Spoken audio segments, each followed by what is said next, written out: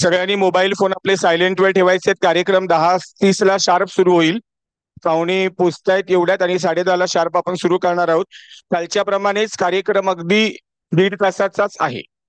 मोजकाच कार्यक्रम आहे. त्याच्यामुळे प्रश्नोत्तर जरा विचारा. काल तुम्ही खूप कमी प्रश्न विचारले. आज डॉक्टर तात्याराव लहानेंचं व्याख्यान आहे. खूप मोठं नाव आहे. तुम्हाला किती दीर्घ प्रवास आहे. पण त्यांचा विषय पण खूप छान आहे. माझा शैक्षणिक प्रवास. त्यांचा संघर्ष जो आहे लहानपणापासूनचा तो एक प्रेरणादायी संघर्ष आहे. तुम्ही नक्की आवर्जून प्रश्न विचारा. हिंदी मराठी इंग्रजीमध्ये तुम्ही विचारू शकता.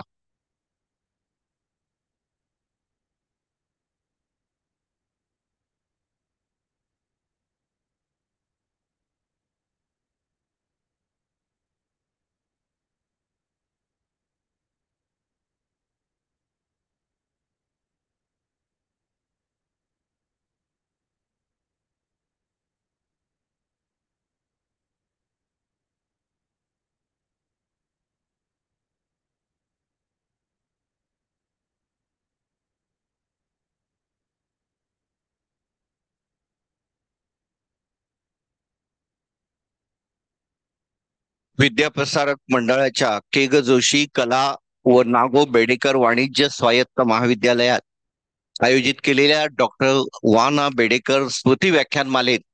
आपल्या सगळ्यांचं हार्दिक स्वागत. डॉक्टर सत्याराव लहाने हे विशेष अतिथी म्हणून इथे उपस्थित राहणार आहेत. आणि माझा शैक्षणिक प्रवास या विषयावर ते आपल्याशी संवाद साधणार आहेत. तर विद्यार्थ्यांना नम्र विनंती आहे की ज्यांचं आयुष्य सगळं कष्टातून गेलेलं आहे असे तात्याराव लहाने इथे उपस्थित राहणार आहेत. विद्याप्रसारक मंडळाचे अध्यक्ष डॉक्टर विजय बेडेकर प्राचार्य डॉक्टर सुचित्रा नाईक मॅडम यांचं जोरदार टाळ्यांनी आपण स्वागत करूया. सौ Sumedha Bedekar madam Phadke madam doctor Ambekar sir आणि अनेक ज्येष्ठ नागरिक मुद्दाम या व्याख्यानासाठी आलेले आहेत. मी सर्वांचं या ठिकाणी स्वागत करतो आणि मान्यवरांना व्यासपीठावर येण्याची विनंती करतो.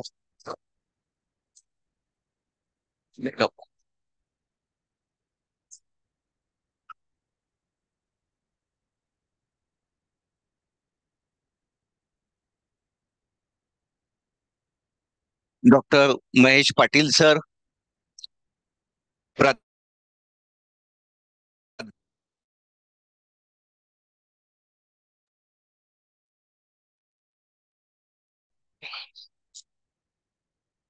doctor Tokekar madam उपप्राचार्या यांचंही स्वागत. डॉक्टर वाना बेडेकर स्मृती व्याख्यानमालेत पुन्हा एकदा आपल्या सगळ्यांचं हार्दिक स्वागत. राजे मॅडमना विनंती करतो की डॉक्टर महेश पाटील सर असतील.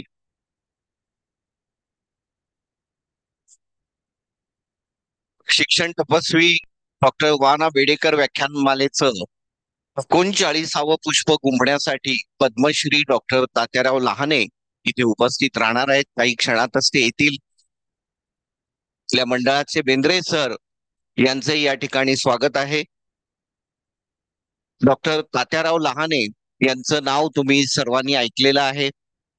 आणि एका संघर्षातून स्वतःच्या यशाची पाऊलवाट माणूस कसा निर्माण करू शकतो? याचं मूर्तिमंत उदाहरण म्हणजे डॉक्टर त्याराव लहाने.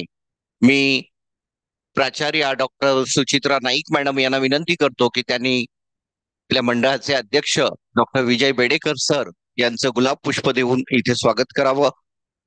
काल त्यांनी नारळ दिला होता आज तो देऊ नये. गुलाबाला क्या बात आहे. बिन काट्याचं बनवलेलं आहे. एकाने म्हटलंय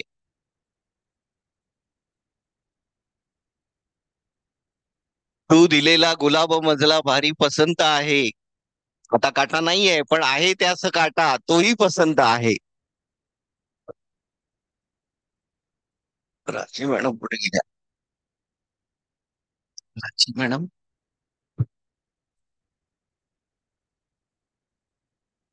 मी महाडिक सरांना विनंती करतो की त्यांनी प्राचार्या सुचित्रा नाईक मॅडम यांचं गुलाब पुष्प देऊन स्वागत करावं.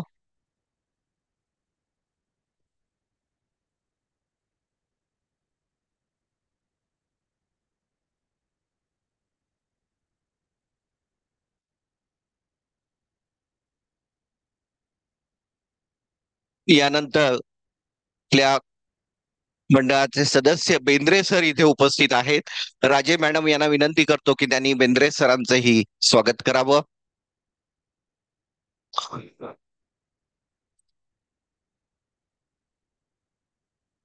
आणि संगीतापासून अनेक कलांवर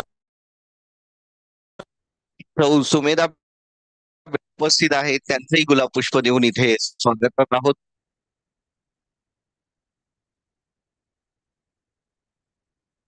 डॉक्टर आंबेकर सर इथे उपस्थित आहेत. त्यांचंही स्वागत.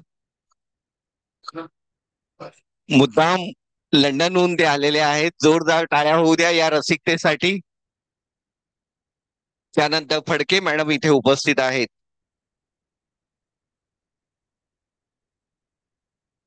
उपप्राचार्य टोकेकर मॅडम यांचंही स्वागत करावं राजे मॅडमनी.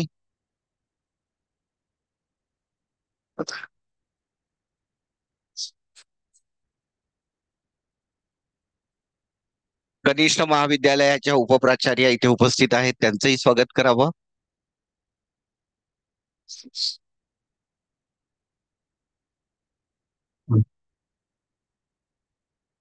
माडसे सर उपस्थित होते.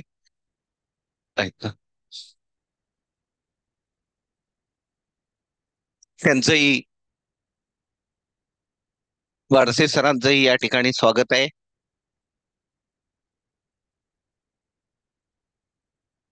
सर्व विभाग प्रमुख Dole sir Kharate sir Doiphode madam इथे उपस्थित आहेत. सगळ्यांचं स्वागत. आणि मी प्राचार्यांना विनंती करतो की मला वाटतं पाटील सरांचं स्वागत. मॅडम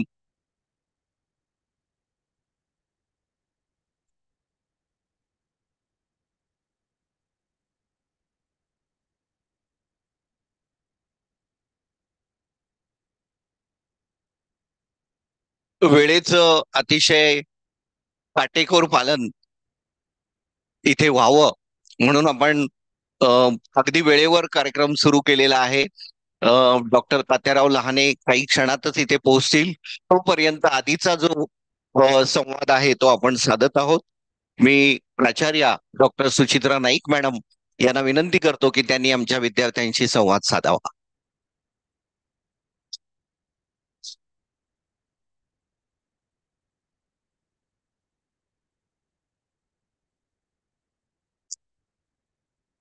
व्यासपीठावर व्यासपीठावर उपस्थित मान्यवर विद्याप्रसारक मंडळाचे अध्यक्ष डॉक्टर विजय बेडेकर शवसुमेधा बेडेकर डॉक्टर आंबेडकर श्री बेंद्रे इथे उपस्थित असलेले सर्व शिक्षक इतर काही प्रतिष्ठित ठाण्यामधले जे आवर्जून इथे आलेले आहेत प्रेसमधली मंडळी आणि माझ्या प्रिय विद्यार्थी मित्र मैत्रिणींनो काल आपण अडतीसावं पुष्प पाहिलं. आज एकोणचाळीसावा आहे. विषय कालचा जो होता तो आणि आजचा खूपच निराळा आहे. आणि तुम्ही एक ज्याला वस्तुपाठ म्हणू आपण तो वस्तुपाठ बघताय की आपले गेस्ट यायचे तरी पण आपण कार्यक्रम सुरू केलाय. ही बांधिलकी असते वेळेची आणि ती आपण सरांकडनं शिकत आलेलो आहोत आणि हाच पायंडा पूर्णपणे पाळायचा आपण ह्या पुढेही प्रयत्न करणार आहोत सततच. कसं असतं की तुम्ही वाचलेलं असेल कुठेतरी की एका मिनिटाचं काय महत्त्व आहे? त्या सर त्या प्रोफेशन मधलेच आहेत ते नक्कीच दुजोरा देतील. की एक मिनिट किती मोठं असू शकतं? हे जेव्हा बाळाला एखादी आई जन्म देत असते तेव्हा ती त्या एका मिनिटाचं महत्त्व तिला ते एका युगासारखं वाटत असतं. तसंच तुम्हाला अभ्यास करताना उद्या काय पेपर येणार आहे तेव्हा एका रात्रीचं महत्त्व तुम्हाला तेव्हा कळतं. एरवी आपलं व्हॉट्सअप वगैरे सुरूच असतं पण अशा वेळेस आपल्याला एका रात्रीचं काय महत्त्व आहे ते कळतं. वेळेचं महत्त्व खरोखर आहे. Time past is time killed ते निघून गेलेला असतो तो क्षण. जे काही क्षण आपल्याला आता एकत्र मिळत आहेत ते आपण एकमेकांशी संवादात अर्थपणे अर्थपूर्णपणे घालवूया असं मी म्हणेन. कालचा विषय भाषेविषयीचा होता. आजचा संस्कृत भाषेचा होता. आजचा विषय दिसण्याविषयीचा आहे. तात्याराव लहानेंचं नाव जसं आता सरांनी सांगितलंय तुम्हाला की खूप मोठं व्यक्तिमत्व आहे. किती जणांना त्यांनी दृष्टी बहाल केलेली आहे. पण मला कायम आपलं एक माझा चष्मा तत्वज्ञानाचा असतो. म्हणून कुठलीही गोष्ट तिथपर्यंत तशी ती जाऊन भिडतच असते. कारण तो विषयच असा आहे. ज्याला मदर सायन्स काही फिलॉसॉफीची मुलं आहेत इथे it is always called as mother science सर्व विद्यांची ती जननी आहे. त्यामुळेच तुम्हाला माहिती असेल की तत्वज्ञानाला दुसरा शब्द दर्शन असा आहे. श्रुती आहेत श्रुतींनी आपण ऐकतो. पण सर्वोच्च अनुभव मानवी जीवनाचा जो आहे जो मोक्षाचा अनुभव आहे तो दर्शन त्याला असं म्हटलं जातं. आणि त्यामुळेच दर्शन दिसणं साक्षात्कार होणं साक्षात दिसणं हे किती महत्वाचं आहे आपल्या आयुष्यात हे काही नव्याने सांगायला नको. बाळ जेव्हा बाहेर येतं तेव्हा ते पहिल्यांदा प्रकाश बघतं. सो हे दिसणं जे आहे ते खूप महत्वाचं आहे. आणि नेमकं ह्याच इंद्रियासाठी. डॉक्टर तात्याराव लहान्यांनी विलक्षण काम केलेलं आहे. पथदर्शी काम त्यांनी ह्या क्षेत्रामध्ये केलेलं आहे. त्यामुळे मी आयोजकांचं खरंच कौतुक करते की इतक्या वेगवेगळ्या क्षेत्रातील मंडळींना ते आवर्जून आपल्याकडे बोलवत असतात. तात्याराव लहानेंशी मला काही गोष्टी बोलायला आवडतील पण आत्ताच हे औचित्य साधून सर आपल्याकडे जी अतुल्य सेल आहे ती व्हिज्युअली चॅलेंज्ड मुलांची आहे. त्याच्यात पार्शली ब्लाइंड कम्प्लिटली ब्लाइंड अशी मुलं आहेत. आणि आपण सतत त्यांच्यासाठी वेगवेगळे उपक्रम घेत असतो. आणि तेही हिरिरीनी वेगवेगळ्या गोष्टी ची विनंती करत असतात आपल्याकडे. त्यांना आता क्रिकेट खेळायचं आहे. सो आपला पुढचा प्रयत्न क्रिकेटसाठी चालू आहे. त्यांच्यासाठी स्किल डेव्हलपमेंट किंवा संपूर्ण कॉलेजला ब्रेलच्या पाट्या आपल्याकडे आपलं एकमेव कॉलेज असेल की जिथे प्रत्येक प्रिन्सिपल्स रूमपासून ते कॅन्टीन पर्यंत व्हिज्युअली चॅलेंज मुलांसाठी आपण पाट्या लावलेल्या आहेत. त्यांची मेंटॉर सेल आहे. ते मेंटॉर्स काही इथे बसलेले मी बघते जे सतत त्यांच्यासोबत असतात आणि त्यांच्यासाठी काम करत असतात. आणि सायन्स एवढं शास्त्र विज्ञान इतकं पुढे चाललेलं आहे आणि टेक्नॉलॉजी इतकी पुढे चाललेली आहे की आता आपण नवीन सॉफ्टवेअर या मुलांसाठी घेतोय. आणि नक्कीच मला आज जे आपले पाहुणे येणार आहेत त्यांच्याकडनं जाणून घ्यायला आवडेल की ह्याहूनही काही पार्शली ब्लाइंड मुलांसाठी आपल्याला करता येईल का? सो हाही एक विषय थोडासा स्वार्थ म्हणते मी. प्रत्येक येणाऱ्या गेस्ट मागे आपण काहीतरी काम लावून देत असतो. कालचं आय होतं आज आपण तुल्य सेलसाठी डॉक्टरांची नक्की मदत घेऊ. तर हे दोन तीन मुद्दे मला इथे आवर्जून मांडावेसे वाटले. मला असं वाटतं की गेस्ट इज ही ऑन आलेले आहेत का? गेस्ट ते आलेलेच आहेत. आपण दोन मिनिटात सुरूच करणार आहोत दोन चार मिनिटात कार्यक्रम. पण त्याच्या पूर्वी तुम्ही मी असं म्हणेन की तुम्ही प्रश्न काढून ठेवा. तुम्हाला जे काही विचारावेसे वाटतील. कारण डॉक्टर तात्याराव लहानेंचा वैयक्तिक प्रवास जो आहे तो खूप प्रेरणादायी असा प्रवास आहे. अतिशय छोट्या गावातून शेतकरी कुटुंबातून आलेले ते डॉक्टर आहेत. त्यामुळे ही जी काही नस आहे आरोग्याची नस आहे गावागावातली आणि जे प्रश्न आहेत तळागाळातले आरोग्याविषयीचे जे प्रश्न आहेत ते खूप महत्त्वाचे आहेत आणि ते ते जाणून आहेत. खूप वेगळी परिस्थिती. आपण इथे शहरात असतो आपल्याला प्रश्न लक्षात येत नाही. एक उदाहरण सांगते. आपलीच एक माजी माझी विद्यार्थिनी. हा सुरेखाताई ज्या मोखाडा आणि या भागात खूप त्यांचं काम आहे. तर त्या आपल्याच कॉलेजमधनं एन एस एस कॅम्पसाठी दुर्गम भागात गेल्या होत्या वाड्याच्या. आणि खूप वेळांनी त्यांना पाणी मिळालं. तेव्हा बिस्लरी वगैरे नव्हतं. ही जवळजवळ तीस वर्षांपूर्वीची गोष्ट आहे. बिस्लरी वगैरे काही नव्हतं. बरोबरचं पाणी संपलेलं होतं. त्यामुळे त्या तिथे गेल्या आणि त्या म्हणाल्या इथे पाणी असलं तर मला हवंय. एक छोटीशी मुलगी अतिशय उत्साहाने कळकट ग्लासामधून पूर्ण गढुळलेलं पाणी घेऊन आली. हा. आता हातात त्यांच्या ग्लास होता. म्हणजे ते काय भांड होतं. आणि ती मुलगी प्रेमाने ते भांड त्यांना देत होती आदिवासी मुलगी. त्या म्हणाल्या हे काय आहे? तर म्हणे हे पाणी आहे. आम्ही रोज हेच पाणी पितो. आणि त्या म्हणाल्या की मी काय करावं? मला खूप मोठा प्रश्न पडला. हे पाणी पिऊन आजारी होऊन ह्यांच्यातलं एक व्हावं की हे पाणी नाकारून परत आपल्या चौकटीतल्या सुरक्षित शहरी जीवनात जावं? त्यांनी निर्धार केला की नाही मी हे पाणी पिन आणि ते पचवीन. लक्षात घ्या हे प्रश्न आजही आहेत. खूप निराळे प्रश्न आहेत. आणि जेव्हा आपण आज जे पाहुणे येणार आहेत त्यांच्यासारख्या मंडळींशी बोलतो तेव्हा हा जो आयाम आहे ग्रामीण आयाम आहे आरोग्याचा तोही आपल्या थोडासा लक्षात येतो. खूप वेगळं वास्तव आहे. आजही खूप वेगळं वास्तव आहे. ह्या सगळ्याचा विचार करून आपण अशा मंडळींना बोलवत असतो. त्यामुळे अपेक्षा फक्त तुम्हा मंडळींकडनं अशी असते की तुम्ही यायला पाहिजे अजून उत्साहाने यायला पाहिजे. ह्या सगळ्या मंडळींशी भेटायला पाहिजे त्यांच्याशी इंटरॅक्शन करायला पाहिजे. सी दिव्यांनी दिवा लागतो. त्यांच्याकडनं प्रेरणा घेऊन आपण पुढे जायचं असतं. तर मी असं म्हणते की राणे सर कुठे आहेत? हा मी राणे सरांना सांगते की पुढील सूत्र त्यांनी पुन्हा हाती घ्यावं धन्यवाद मॅडम. मॅडम. दोन मिनिट सतत विद्यार्थ्यांच्या हिताचा ध्यास आणि त्यासाठी जे जे करता येईल ते प्राचार्य डॉक्टर सुचित्रा नाईक मॅडम आपल्यासाठी करतात आणि त्याचा अनुभव विद्यार्थ्यांनी घेतलेला आहे. घेतलेला आहे की नाही? जोरात हो बोला डॉक्टर बसले तिथे अजून जोरात. सर आवाज बरोबर आहे ना? हा. म्हणजे कोणी बाहेर आपल्याला विचारायला नको आवाज कुणाचा? तो डॉक्टर बेडेकर विद्या मंदिर आणि जोशी बेडेकर कॉलेजच्या विद्यार्थ्यांचा आहे. इथे अनेक आमचे प्राध्यापक जे विद्यार्थ्यांसाठी झटत असतात. मगाशी सगळ्यांची नावं मी घेतली दोन तीन नावं इथे राहिली. श्वेता मॅडम आहेत भोसले सर आहेत माने मॅडम आहेत सगळी. पण नाव चुकून राहिलं तर मॅडम रागावू नका. डॉक्टर तात्याराव लहाने यांच्या समोर जे वाचायचं आहे ते मी आधी वाचतो. म्हणजे वेळेचं कमी अपव्यय होईल. चालेल. तर इथे आमचे विद्यार्थी रसिक विद्यार्थी अनिल कालेकर सर आहेत. जे कल्याणहून मुद्दाम आलेत. जसं लंडनहून आमचे डॉक्टर आलेत तसं ते कल्याणहून रोज येतात. आणि व्याख्यानमालेसाठी तर लेक्चर नसताना मुद्दाम बदलापूर. बदलापूर का? हा. तर म्हणजे ही जी उत्सुकता आहे मोठी मोठी माणसं आपल्याला इथे बघायला मिळतात. विद्यार्थ्यांसाठी मला काही विद्यार्थ्यांनी विचारलं की कार्यक्रम कंपल्सरी आहे का? भोसले सर हसतायत.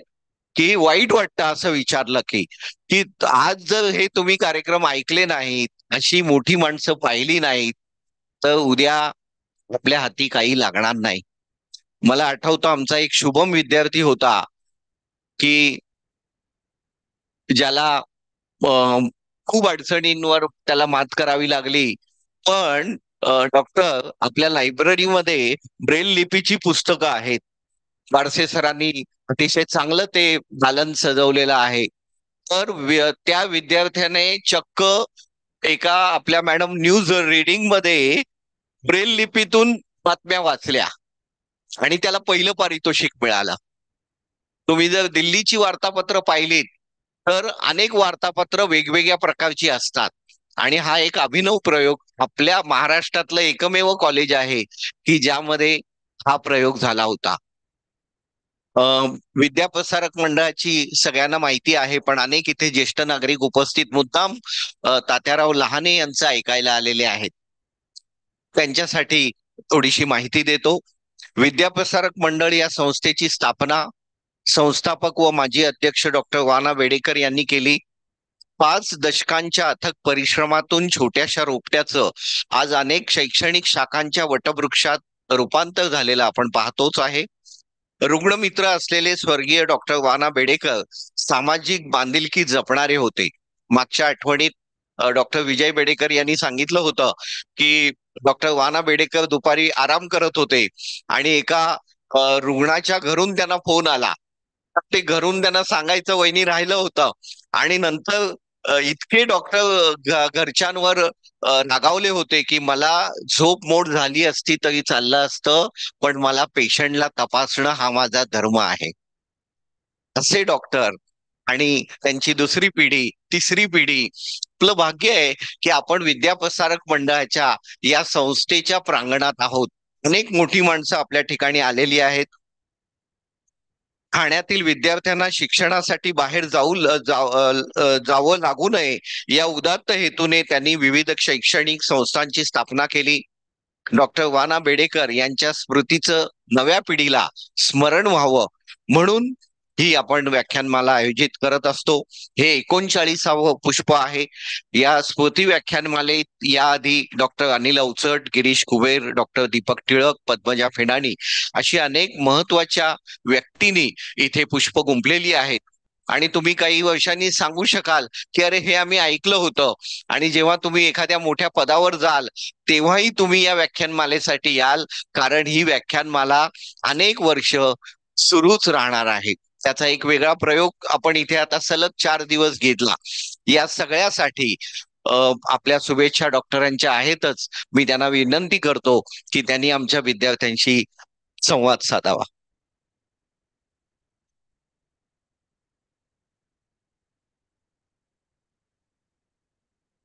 धन्यवाद राणे. मित्र आपले पाहुणे आलेलेच आहेत. त्या मधला जो काही कालावधी असतो तो आपला गप्पा मारायचा आहे. एक एक गोष्ट सांगतो की त्यांनी आपल्याला सांगितलेलं आहे. या घेऊन या घेऊन. तर मी अ, प्रसूती रोग तज्ज्ञ आहे गायनेकॉलॉजिस्ट आणि मी लेनिन लेनिनग्राडला रशियाला गेलो होतो. आणि तिथे माझ्या हॉटेलमध्ये एक व्यक्ती खाली येऊन बसली होती. आणि ती सारखी सांगत होते की डॉक्टरना सांगा मला भेटायचं आहे भेटायचं आहे. तिथे जरा पद्धत वेगळी असते. त्या एका ठराविक वेळेच्या बाहेर तुम्ही कोणाला भेटू शकत नाही. आणि ते आग्रह धरून त्यांना सांगा सांगा मी आलोय इथे. आणि मी गेलो खालती. तर तिथल्या एम्बसीतला एक भारतीय मनुष्य आपला तिथला. आणि तो म्हणाला डॉक्टर नमस्कार ओळखलत का? म्हटलं नाही ओळखलं भारतीय आता एवढं माहिती आहे मला काय? नाही नाही म्हणे असं काय करता? म्हणे मी तुमच्याकडेच माझा जन्म झालाय आणि मी रडत नव्हतो तेव्हा तुम्ही मला दोन चार धपाटे मारलेत. म्हटलं मग जगभर असे धपाटे मारलेले लोक माझे आहेत. तर हे हा एक मजेचा भाग झाला. पण ही जी व्याख्यानमाला आहे ती अत्यंत प्रबोधना करताय. आपल्याला बाईंनी सांगितलं त्याप्रमाणे फार मोठे वक्ते इथे येऊन गेलेत. आजचेही वक्ते तसेच मोठे आहेत. आणि माझी तुम्हाला सगळ्यांना विनंती आहे की हा जो काही तासभर दीड तास असतो त्याच्यामध्ये आपले जे वक्ते असतात त्यांचे अनुभव असतात त्यांचे काहीतरी चिंतन असतं आणि त्यातनं ते आपल्याला दोन शब्द सांगत असतात. ते समजून घ्या. तुमच्या सगळे मला दिसत आहेत ते तरुण आहेत काही एक समोरची लोक सोडली तर पण आयुष्य खूप मोठं आहे संध्या खूप खूप आहेत. पण स्पर्धाही प्रचंड आहे. आणि या स्पर्धेत तुम्हाला तगून राहायचं. आणि तगून राहायचं स्पर्धा याचाच अर्थ असा आहे की याच्यापेक्षा मी चांगला आहे. हे तुम्हाला दरवेळे सिद्ध करत राहायचं आहे. आणि हरकत नाही त्यात काही वाईट नसतं. पण ते खरंच चांगले पण तुम्हाला दाखवायला लागतं. की खरोखर समोरचा मनुष्य आणि चाणाक्ष आहे. आणि त्यालाही कळतं चांगलं कोण वाईट कोण. मग तुमचा व्यवसाय तुम्ही डॉक्टर असा इंजिनियर असा आर्किटेक्ट असा आणि कोणीही असा. तुमचं चांगले पण हे तुम्हाला तुमच्या प्रत्यक्ष कृतीतनं सिद्ध करायला लागतं. आणि जागतिक स्तरावरती आपल्याला आज स्पर्धा करायची आहे. आणि या स्पर्धेमध्ये आता त्यांनी तुम्हाला सांगितले डॉक्टर आंबेकर आहेत तिथे मेसेज फिडके आहेत. अनेक वर्षापूर्वी ते भारत सोडून परदेशात गेलेले आहेत. आता माझं म्हणणं असं आहे त्यात मला त्यांना काही हे करायचं नाहीये पण आता अशी वेळ येऊन दे भारतात. आपली लोकसंख्या खूप आहे. पण शिक्षणाकरता किंवा संधीकरता परदेशात लोक भारतात यायला पाहिजेत. अशी वेळ आपल्याला आणायची आहे. आणि तशी यायची दिवस काही फार लांब नाहीयेत. आज सुदैवानी सुदैवाने या देशामध्ये मोठ्या प्रमाणावरती प्रगती चालू आहे. या या या. Sorry sorry. या ठीक आहे ठीक आहे ठीक आहे. बसा बसा. मी थांबवतोय. तुम्ही त्यांचा प्री मी थांबवतोय. तुम्ही त्यांचा परिचय नाही मी दोन मिनिटं बोलतोय. परिचय करून देऊन कार्यक्रमाला सुरुवात करते. मित्र आपले प्रमुख पाहुणे इथे हजर झालेले आहेत. त्यामुळे माझं काम संपलेलं आहे. मधल्या वेळेकरता मला बोलायचं होतं ते. आणि म्हणून मी राणे तुम्हाला विनंती करतो की पुढचा कार्यक्रम चालू. धन्यवाद सर. या ठिकाणी जोरदार टाळ्या वाजवून डॉक्टर तात्याराव लहाने यांचं आपण सर मनापासून सगळ्यांच्या वतीने स्वागत आहे. मी डॉक्टर विजय बेडेकर सर यांना विनंती करतो की तात्याराव लहाने सरांचं गुलाब पुष्प आणि भेटवस्तू देऊन स्वागत करावं.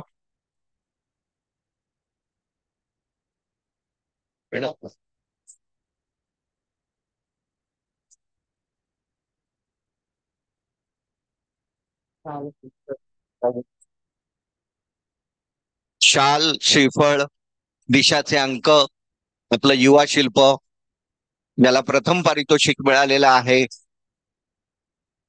आणि दिशाचे संपादक डॉक्टर विजय बेडेकर सर आहेत.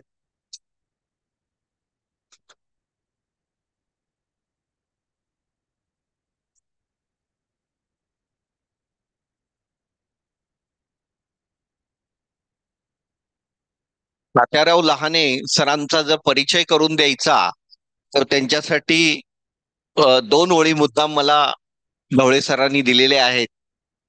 अगर आप देखना चाहो, अगर आप देखना चाहो हमारे हौसलों की उड़ान को, अगर आप देखना चाहो हमारे हौसलों की उड़ान को तो आओ और ऊँचा करो पूरे आसमान को।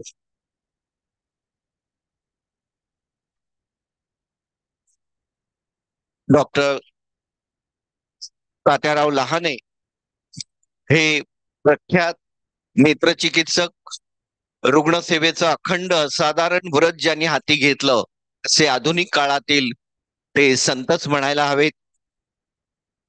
Tatyarao Lahane sir Grant medical college आणि त्यानंतर सर जे जे हॉस्पिटल्स जे अगदी सुरुवातीच्या काळात छोटस रोपटं होतं ते आपल्या परिश्रमाने डॉक्टरांच्या परिश्रमाने त्याचं महावृक्षात परिवर्तित झालेलं आहे. जवळपास दोन लाख मोतीबिंदू ऑपरेशन्स त्यांनी केलेली आहेत.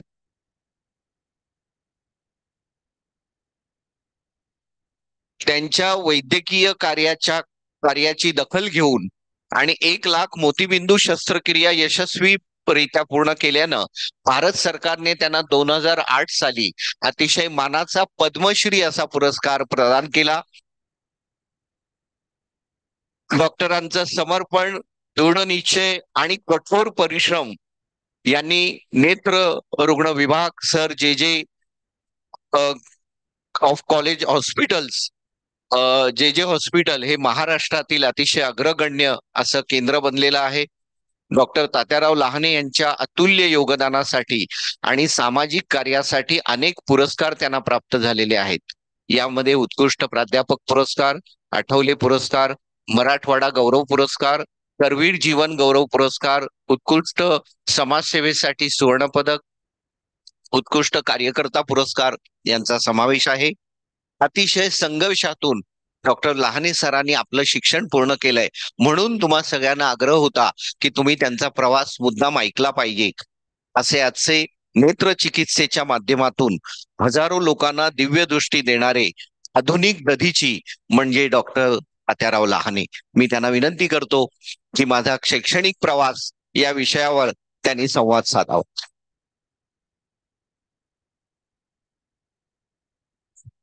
नमस्कार. आ, मुंबई आणि ठाणे रस्ता आणि गर्दी त्यामुळे सकाळी मी माझ्या शस्त्रक्रिया संपवल्या साडेनऊलाच. पण गर्दीमुळे थोडे दहा मिनिटं लेट झालं त्याच्याबद्दल दिलगिरी व्यक्त करतो. आपले बेडेकर साहेब नाईक पाटील. इथले सर्व अध्यापक वर्ग आणि विद्यार्थी नागरिक मित्र. मला सुरुवातीला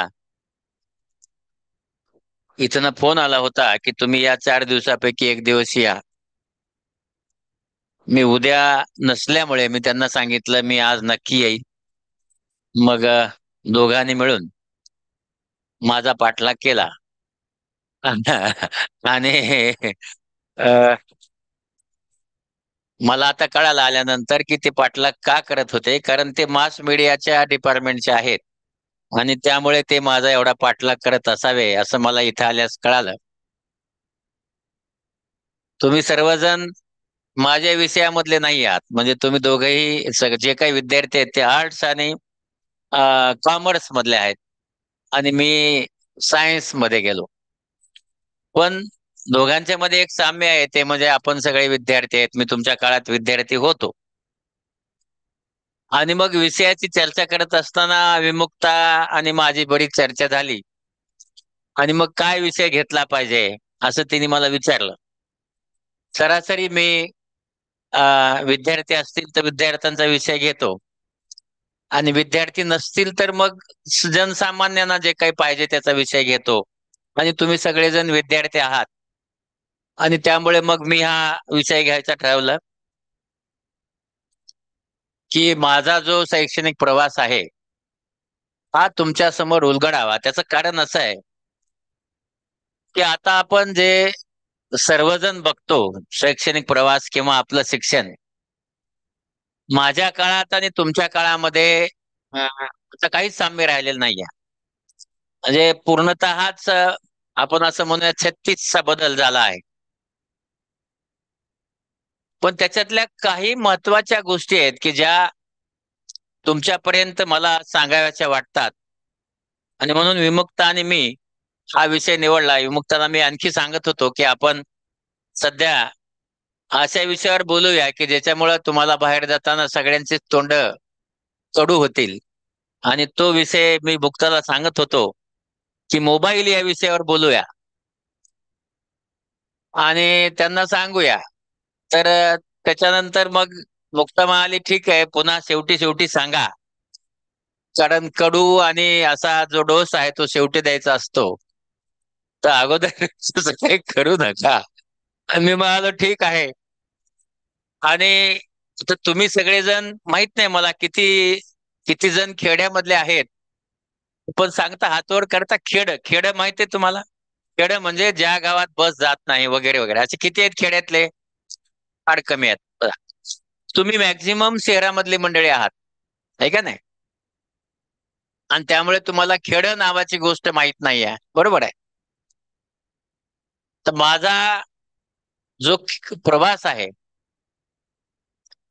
तो प्रवास खेड्यातला आहे. खेड्यामध्ये म्हणजे आजही म्हणजे दोन हजार आठ पर्यंत मला पद्मश्री मिळेपर्यंत ज्या गावामध्ये रस्ता नव्हता. पद्मश्री मिळाल्यानंतर राजकर्त्यांना ते गाव माहीत झालं आणि मग त्या गावाला जायला रस्ता झाला. चौदा किलोमीटर पायी जावं लागायचं कुठल्याही रस्त्याला. आणि तुम्ही लाल बस बघता ती मी दहावीपर्यंत पाहिले पाहिली नव्हती. कारण अशा खेड्यामध्ये राहत होतो. आणि शिक्षण म्हणाल तर शिक्षण वगैरे काही त्या भागात त्यावेळेस काही नव्हतं. म्हणजे शिक्षणाचा काही पण एकोणीसशे सत्तावन्न ला एक संस्था स्थापन म्हणजे प्राथमिक शाळा सुरू झाली होती. आणि माझा सत्तावन्नचा जन्म आहे. बासष्ट ला मी थोडा पाच सहा वर्षाचा झालो असावा. आणि मुलं शाळेत कमी पडतात. पटलाला. याच्यासाठी माझा शाळेत नाव नोंदवलं होतं शिकण्यासाठी नाही. माझे वडील म्हटले की हा घरातला मोठा मुलगा आहे याने शेतीच केली पाहिजे. शेती किती होती? दीड एकर. तुम्हाला एकर कळतं का मला माहीत नाही पण फार कमी शेती होती. पण वडिलांची इच्छा आहे की मी ती शेती केली पाहिजे. पण शिक्षक जे पुढे सगळे बसलेत त्यांना त्यांचा किती मोठा योगदान असतो सांगतो. तुटके नावाचे शिक्षक होते. ते माझ्या वडिलांना कन्व्हिन्स करून त्यांनी मला शाळेत घातलं. आणि बघा कधी कधी कुठली गोष्ट तुमच्या आयुष्यामध्ये तुम्हाला मदत करेल सांगता येत नाही. पहिली दुसरी तिसरी चौथी शिकलो. नऊ महिने शाळा असते मी सहा महिने शाळा करायचो. बाकी शेतामध्ये काम करायचो. पण तेव्हा जे आता नाही आहे चौथीला बोर्ड होतं बोर्डची परीक्षा होती. ती बोर्डची परीक्षा मी दिली कारेपूर नावाच्या गावात आणि बोर्डात पहिला आलो. बोर्डात पहिला आलो नसतो. तर पाचवी मध्ये गेलो नसतो. बोर्डात पहिला आलो गावामध्ये एक संस्था निघाली होती. तिथले शिक्षक घरी आले आणि वडिलांना सांगितलं की अरे हुशार आहे मुलगा तुमचा पाठवा शाळेत. वडिलांचं नेहमी ठरलेलं असायचं शाळा ठीक आहे. पेरणार कोण? शेतात आऊत कोण आणणार? आणि मग पुन्हा त्या शाळेतल्या शिक्षकांनी सांगितलं ठीक आहे जून मध्ये पेरणी होऊ द्या कोळपणी होऊ द्या मग पाठवा. तुमच्या सगळ्यांची शाळा सुरू झाली असेल दहा जूनला माझी मात्र पंधरा ऑगस्टला. म्हणजे मी पाचवी ते दहावी माझी शाळा पंधरा ऑगस्टला सुरू झाली त्यापूर्वी कधीच नाही. पंधरा ऑगस्टला मात्र मी नक्की झेंडावंदनाला जायचो. आणि शेती करत करत म्हणजे आपल्याला माहीत नाही गुरे वगैरे समजता का तुम्हाला? गुरे राखत गुरे सकाळी गुरे राखायचे. म्हणजे आपण असं म्हणूया आक्स बफेलो ओके ताऊ आहे ना? गाय म्हैस बैल काही लोकांना कळत असेल आहे ना? हे सकाळी त्यांना चारायचं चारा द्यायचा. आणि ते चरत असताना अभ्यास करायचा. ते बांधले की मग शाळेमध्ये जायचं. दुपारी पाच नंतर तीच ऍक्टिव्हिटी करायची. म्हणजे सकाळ संध्याकाळची ऍक्टिव्हिटी ठरलेली असायची. आणि शनिवार सरासरी शाळेत जायचं नाही. शनिवार रविवार शेतीत काम करायचं. पण तिथेही असं होतं की त्या शाळेत दरवर्षी पाचवी ते दहावी पहिला नंबर काढायचे सगळ्यात चांगले मार्क. आणि ते मला पडायचे. त्यामुळे दुसऱ्या वर्गात प्रवेश मिळायचा. नाही मुलगा हुशार आहे. म्हणजे मला आपला हे सांगायचं आहे की आपण मेरिटमध्ये असाल तर काही गुप्त शक्ती तुम्हाला मदत करत असतात. त्या तुम्हाला दिसत नाहीत. आणि गुप्त शक्ती ह्या कशा येतील आयु- आपल्या आयुष्यात सांगता येत नाही. तर ह्या सुप्त आणि गुप्त ज्या शक्ती होत्या त्याने मला मदत करत गेले. आणि दहावीला मी आजारी पडलो खूप. टायफॉइड नावाचा आजार झाला तीन महिने घरी होतो. शिक्षक किती काम करतो पहा त्यावेळेस साठे गुरुजी बोंडगे गुरुजी आणि शाजरा गुरुजी माझ्या घरी आले. आणि त्यांनी सांगितलं याला परीक्षेला बसू द्या. माझ्या वडिलांनी सांगितलं ठीक आहे. नेमका उठलो होतो तीन महिन्यानंतर किनगा नावाच्या सेंटरला जाऊन परीक्षा दिली. हायर मॅथ होतं तेव्हा माझं. दोन असायचे अंकगणित आणि हायर मॅथ हायर मॅथमध्ये प्रमेय नावाचा मोठा भाग असा ज्याला वीस ते पंचवीस मार्काचा प्रश्न असायचा. आणि माझे तीन महिने गेल्यामुळं जो प्रमेय आला तो मला सोडवता येत नव्हता. तर बोंडगे गुरुजी त्यांनी सोडवला तो सगळा. माझ्या गार्डिंगला चाटे गुरुजी होते तिथले चीफ माझे हेडमास्टर होते त्या. आणि त्यांनी मला तो आणून दिला. त्यांनी सांगितलं की तू लिही आता हे तुला येत नाही मला माहिती आहे. तो मी खिशात ठेवला आणि लिहिला नाही. त्यावेळेस मी किती मॅच्युअर होतो मला माहीत नाही. मला काय कळत होतं मला माहिती नाही. पण मी तो लिहिला नाही. खिशात होता शिक्षक गार्डिंगचे पण म्हणत होते तुम्ही लिहा पण मी नाही लिहिला. आणि मी पेपर देऊन आलो. मला विचारलं तू लिहिलास का? म्हणलं नाही लिहिला. आणि थोडे दिवसांनी निकाल लागला. निकाल लागल्यानंतर तेव्हा डिव्हिजन्स होते. मराठवाडा पश्चिम महाराष्ट्र विदर्भ असे विभाग होते. आणि मी मराठवाड्यामध्ये दहावीच्या परीक्षेत दहावा आलो. आणि समजा तो प्रमेय मी सोडवला असता तर मी पहिला आलो असतो. त्यावेळेस पहिल्या दुसऱ्या आणि तिसऱ्या मुलाचं नाव तिकडच्या लोकल पेपरमध्ये झळकायचं. आणि जे पहिली मुलगी आली होती ती उदगीरची होती. तिचं नाव होतं आशालता मनमत नीला तिला माझ्यापेक्षा फक्त चौदा मार्क जास्त होते. मी प्रमेय सोडवला असता तर मला वीस मार्क जास्त पडले असते. पण एक नेहमी लक्षात ठेवा की हे जे आपल्या कॉपी मधनं ज्ञान येतं किंवा ह्याच्यातनं ज्ञान येतं हे आर्टिफिशियल ज्ञान असतं. ते आपल्या आयुष्यात आपला कुठेही मदत करत नाही. माझ्यावर जे मेरिटमध्ये होते ते कुठे आहेत मला माहिती नाही. पण एवढं निश्चित सांगतो की ते कोणी डॉक्टर नाही झाले. त्या काळात. आणि त्यानंतर मग मी पीयूसी आणि फर्स्ट इयर असं तेव्हा तेव्हा हे नव्हतं. तर मार्क चांगले असल्यामुळे पुढे शिकवा असं माझ्या वडिलांना सांगितलं. त्यांची काय चूक नव्हती. माझे वडील आणि आई आता वडील नाही आहेत. त्यांना शिक्षणाबद्दल खूप असायचं की शिक्षण झालं पाहिजे. पण अडचणी अशा होत्या की दुष्काळ पडला जेवायला नाही. म्हणजे नववी दहावीला असताना दुष्काळ पडला होता तीन महिने तळ्यावर काम करत होतो. सुकडी मिळायची सुकडी. आणि ती सुकडीचा शिरा घरचे सगळे करून खायचे. दुपारचं तीन महिने जेवण केलं नव्हतं. ते मिळत नव्हतं म्हणून केलं नव्हतं. जेवायला मिळत नव्हतं. कधी तरवट्याची भाजी उकळून तिच्यात मीठ टाकून खायचं कधी तसंच राहायचं. पण कधी असं वाटलं नाही की आपलं जेवायला मिळत नाही किंवा कधी असं अडचण नाही वाटली. आता जेव्हा मी ऐकतो तेव्हा मग अनंत अडचणी लोक सांगत असतात. पण मला तसं काही वाटलं नाही. आणि या ह्याच्यातनं दहावीतनं पुढे जाऊन मेरिट आला. आणि वडील तयार झाले. त्याचं कारण होतं की परळीच्या वैद्यनाथ कॉलेजमध्ये त्यावेळेस एमबीबीएस ला खूप महत्त्व असायचं त्यांनी वेगळी बॅच केली होती. हे तुम्हाला सांगतोय मी चौऱ्याहत्तर. आणि त्यांच्यासाठी हॉस्टेल पुस्तकं जेवायची सोय अशी वीस मुलांची बॅच होती. त्याच्यापूर्वी त्यांचे सात मुलं मेडिकलला लागले होते. मी मेरिटमध्ये पहिला होतो. पहिला. त्यामुळे मला मिळणारच होतं म्हणून मी ठरवलं की आता तिथे जायचं आणि ऍडमिशन घ्यायचं. गेल्यानंतर मी आता तुम्हाला सांगितलं फरक. खेडेगाव आणि शहर यामध्ये एक छोटासा फरक असतो. तो म्हणजे संपूर्ण ज्ञान खेड्यात नसतं एक. खेड्यामध्ये भाषा ही खेड्यामध्ये जी माणसं सांगतात अनुकरण त्यांचं असतं. प्रोनाऊन्सिएशन तुम्ही माझी भाषा बघा. ही संपूर्ण लातूरची भाषा आहे.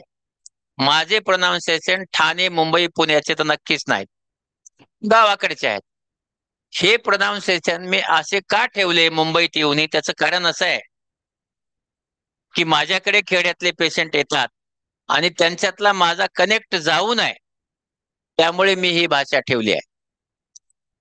आणि मग देशपांडे नावाचे प्रोफेसर होते त्यांनी इंटरव्ह्यूला बोलवलं आणि जुलाजीचं पुस्तक वाचायला दिलं.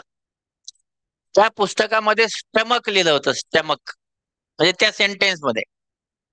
गावात शिकवत असताना माझे जे गुरुजी होते इंग्रजी शिकवायचे ते जोशी सर म्हणून होते ते स्टमच म्हणायचे स्टमच आता मी काय शिकणार आहे? स्टेमच आणि मी वाचताना सांगितलं स्टेमच ते देशपांडे सरांनी ऐकलं आणि म्हणले गेट आउट मला कळेना काय झालं. मग म्हणाले की तुम्हाला साधे स्टमक म्हणता येत नाही. तर तुम्ही डॉक्टर कसे होणार? तर तुमच्या सगळ्यांना नाही शिक्षकांनाही सांगायचं आहे. भाषा ही फक्त समजण्यासाठी असते. तिचे प्रोनाऊन्सिएशन जर तुमचा बाहेरचा कोणी इंग्लंडचा आला कोणी जपानचा आला कोणी दुसऱ्या भागातला आला तर तो कसे प्रोनाऊन्सिएशन करतो? किंवा दक्षिण दक्षिण भारतातला पहा. त्यामुळं भाषा समजलं पाहिजे याच्यासाठी असते. पण त्यांनी दिलं मला हकलून आणि माझा नंबर नाही लागला. मी खर्च करू शकत नव्हतो. मी पेटी घेऊन गावाकडे निघालो. दुसरे एक सर बघा सर कसे होते? काळे नावाचे. Sugriv Balwant Kale S B. बॉटनीचे professor होते. ते म्हणाले तू का चाललास? तू तर पहिला नंबर आहे तुझा. मी म्हणलं सर ते मला ऍडमिशन नाही मिळालं मी आता इथं राहू शकत नाही. ते म्हणले तुला आम्ही काही मदत करू शकतो का? म्हणलं सांगा शेतकरी आहेस ना? म्हणलं हो. ते म्हणले आपण झाडं लावलेत झाडाला पाणी घालतो का? म्हणलं हो घालतो. कमो आणि शिका नावाची योजना होती. तिच्यात झाडाला पाणी घालण्यासाठी त्यांनी मला तीस रुपये त्या काळात चौऱ्याहत्तरला तीस रुपये पर मंथ द्यायचं ठरवलं. रोज पन्नास घागरी पाणी घालायचं. जवळ विहीर होती एक पाचशे मीटरवर. मी कावड केली दोन घागरी पाणी घेऊन यायचो. सकाळी पाच वाजता उठून आणि झाडाला पाणी घालायचं. कधी पळईला गेलात तर वैद्यनाथ कॉलेजच्या समोर जी मोठी झाड आहेत ते प्रत्येकाला मी दोन वेळेस चौदा महिने पाणी घातले आणि त्याच्यानंतर मी माझं शिक्षण घेतलं. त्यामुळे ही का सांगतो तुम्हाला की अडीअडचणी जरूर येतात. असं नाही की येत नाहीत. पण ह्या अडी आता ह्या ज्या अडीअडचणी आहेत ह्या आल्या नाहीत तर आपण पुढे जाऊ शकत नाही. आणि त्यानंतर संपलं आमचं. बीपीसीची परीक्षा झाली. आणि निकाल थोडे काही मराठवाडा आंदोलन झाल्यामुळे लांबला होता. मी गावाकडे होतो. आणि पुढे शिक्षण शक्यच नव्हतं. म्हणजे मी आपलं गावाकडे शेती काम करत होतो. थोडे दिवसांनी डॉक्टर काळे पीएचडी त्यांना सहा सात पीएचडी होत्या. ते सायकल माझ्या गावात येता येत नव्हता रस्ता नव्हता.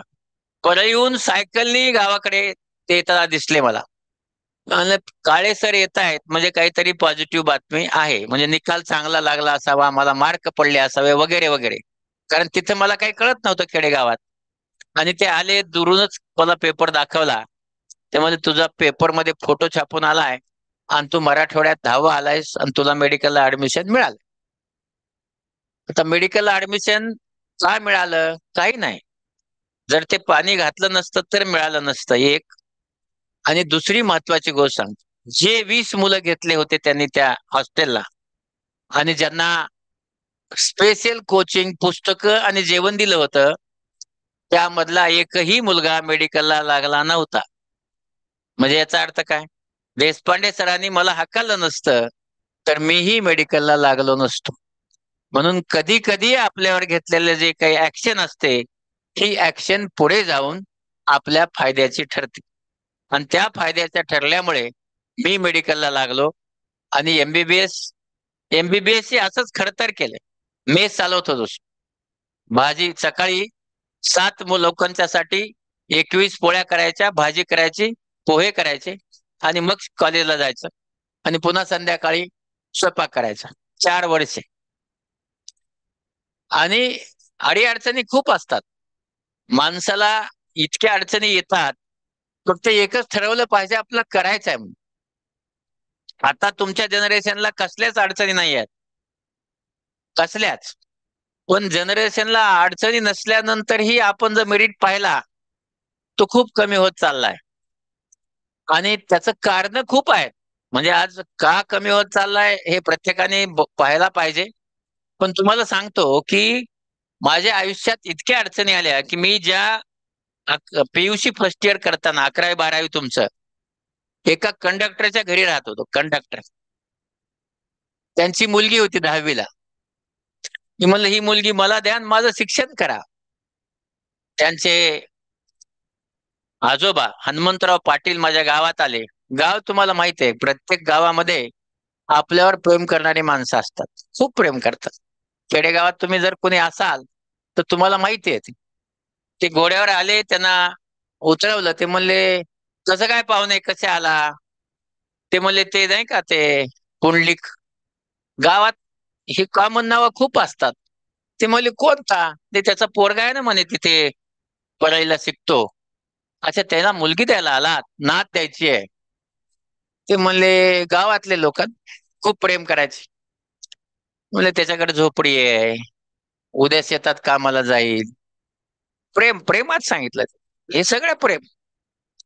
आणि गावामध्ये सगळे असेच प्रेम करतात. खूप चांगलं प्रेम असतं ते. आणि त्यांना सांगितलं की बाबा ते जे घर आहे ते त्यांना घरी नाही राहायला. काहीच नाही. आणि ते जे होते घोड्यावर आलेले ते घोड्यावर बसून परत गेले. आमच्याकडे आलेच नाही. गावातल्या प्रेमाने परत गेले ते खूप प्रेम करतात गावातले लोक. मग मी तेच सांगत होतो माझी मेस चालवत त्याचं कारण मला आठवलं. की मेस चालवत शिकत होतो तेवढ्यात एका दिवशी दोन आमदार आले. मला सांगितलं दोन आमदार आले तुमच्याकडे. मग माझ्याकडे तर कॉट पण नव्हता. मी आपलं गादी टाकून खाली झोपायचो. मग कुणाच तरी कॉट मागितला दोन खुर्च्या मागितल्या. पोरं तुम्हाला हॉस्टेलला माहीत आहे काय काय मजा असते त्यांना बसवलं. आता माझे सगळे मित्र तुम्हाला माहीत आहे मित्र किती हुशारात किती प्रेम करतात आपल्यावर. ते सगळेच आले. त्यांना वाटलं आता ह्याला पोरगी द्यायला तर आपलं काय? येऊन बसले. आणि मग झाली चर्चा वगैरे सुरू झाली. तर नेहमी एक आपला जो मित्र असतो तो जास्त बोलतो. तसंच झालं ते एक मित्र जास्त बोलत राहिला. आणि मग त्यांनी सांगितले की आम्ही तुम्हाला मुलगी द्यायला आलो मग तू जरा घाबरला ते म्हणे तुम्ही आमदार आहेत म्हणे हो. ते मला ते तात्या खूप गरीब आहे.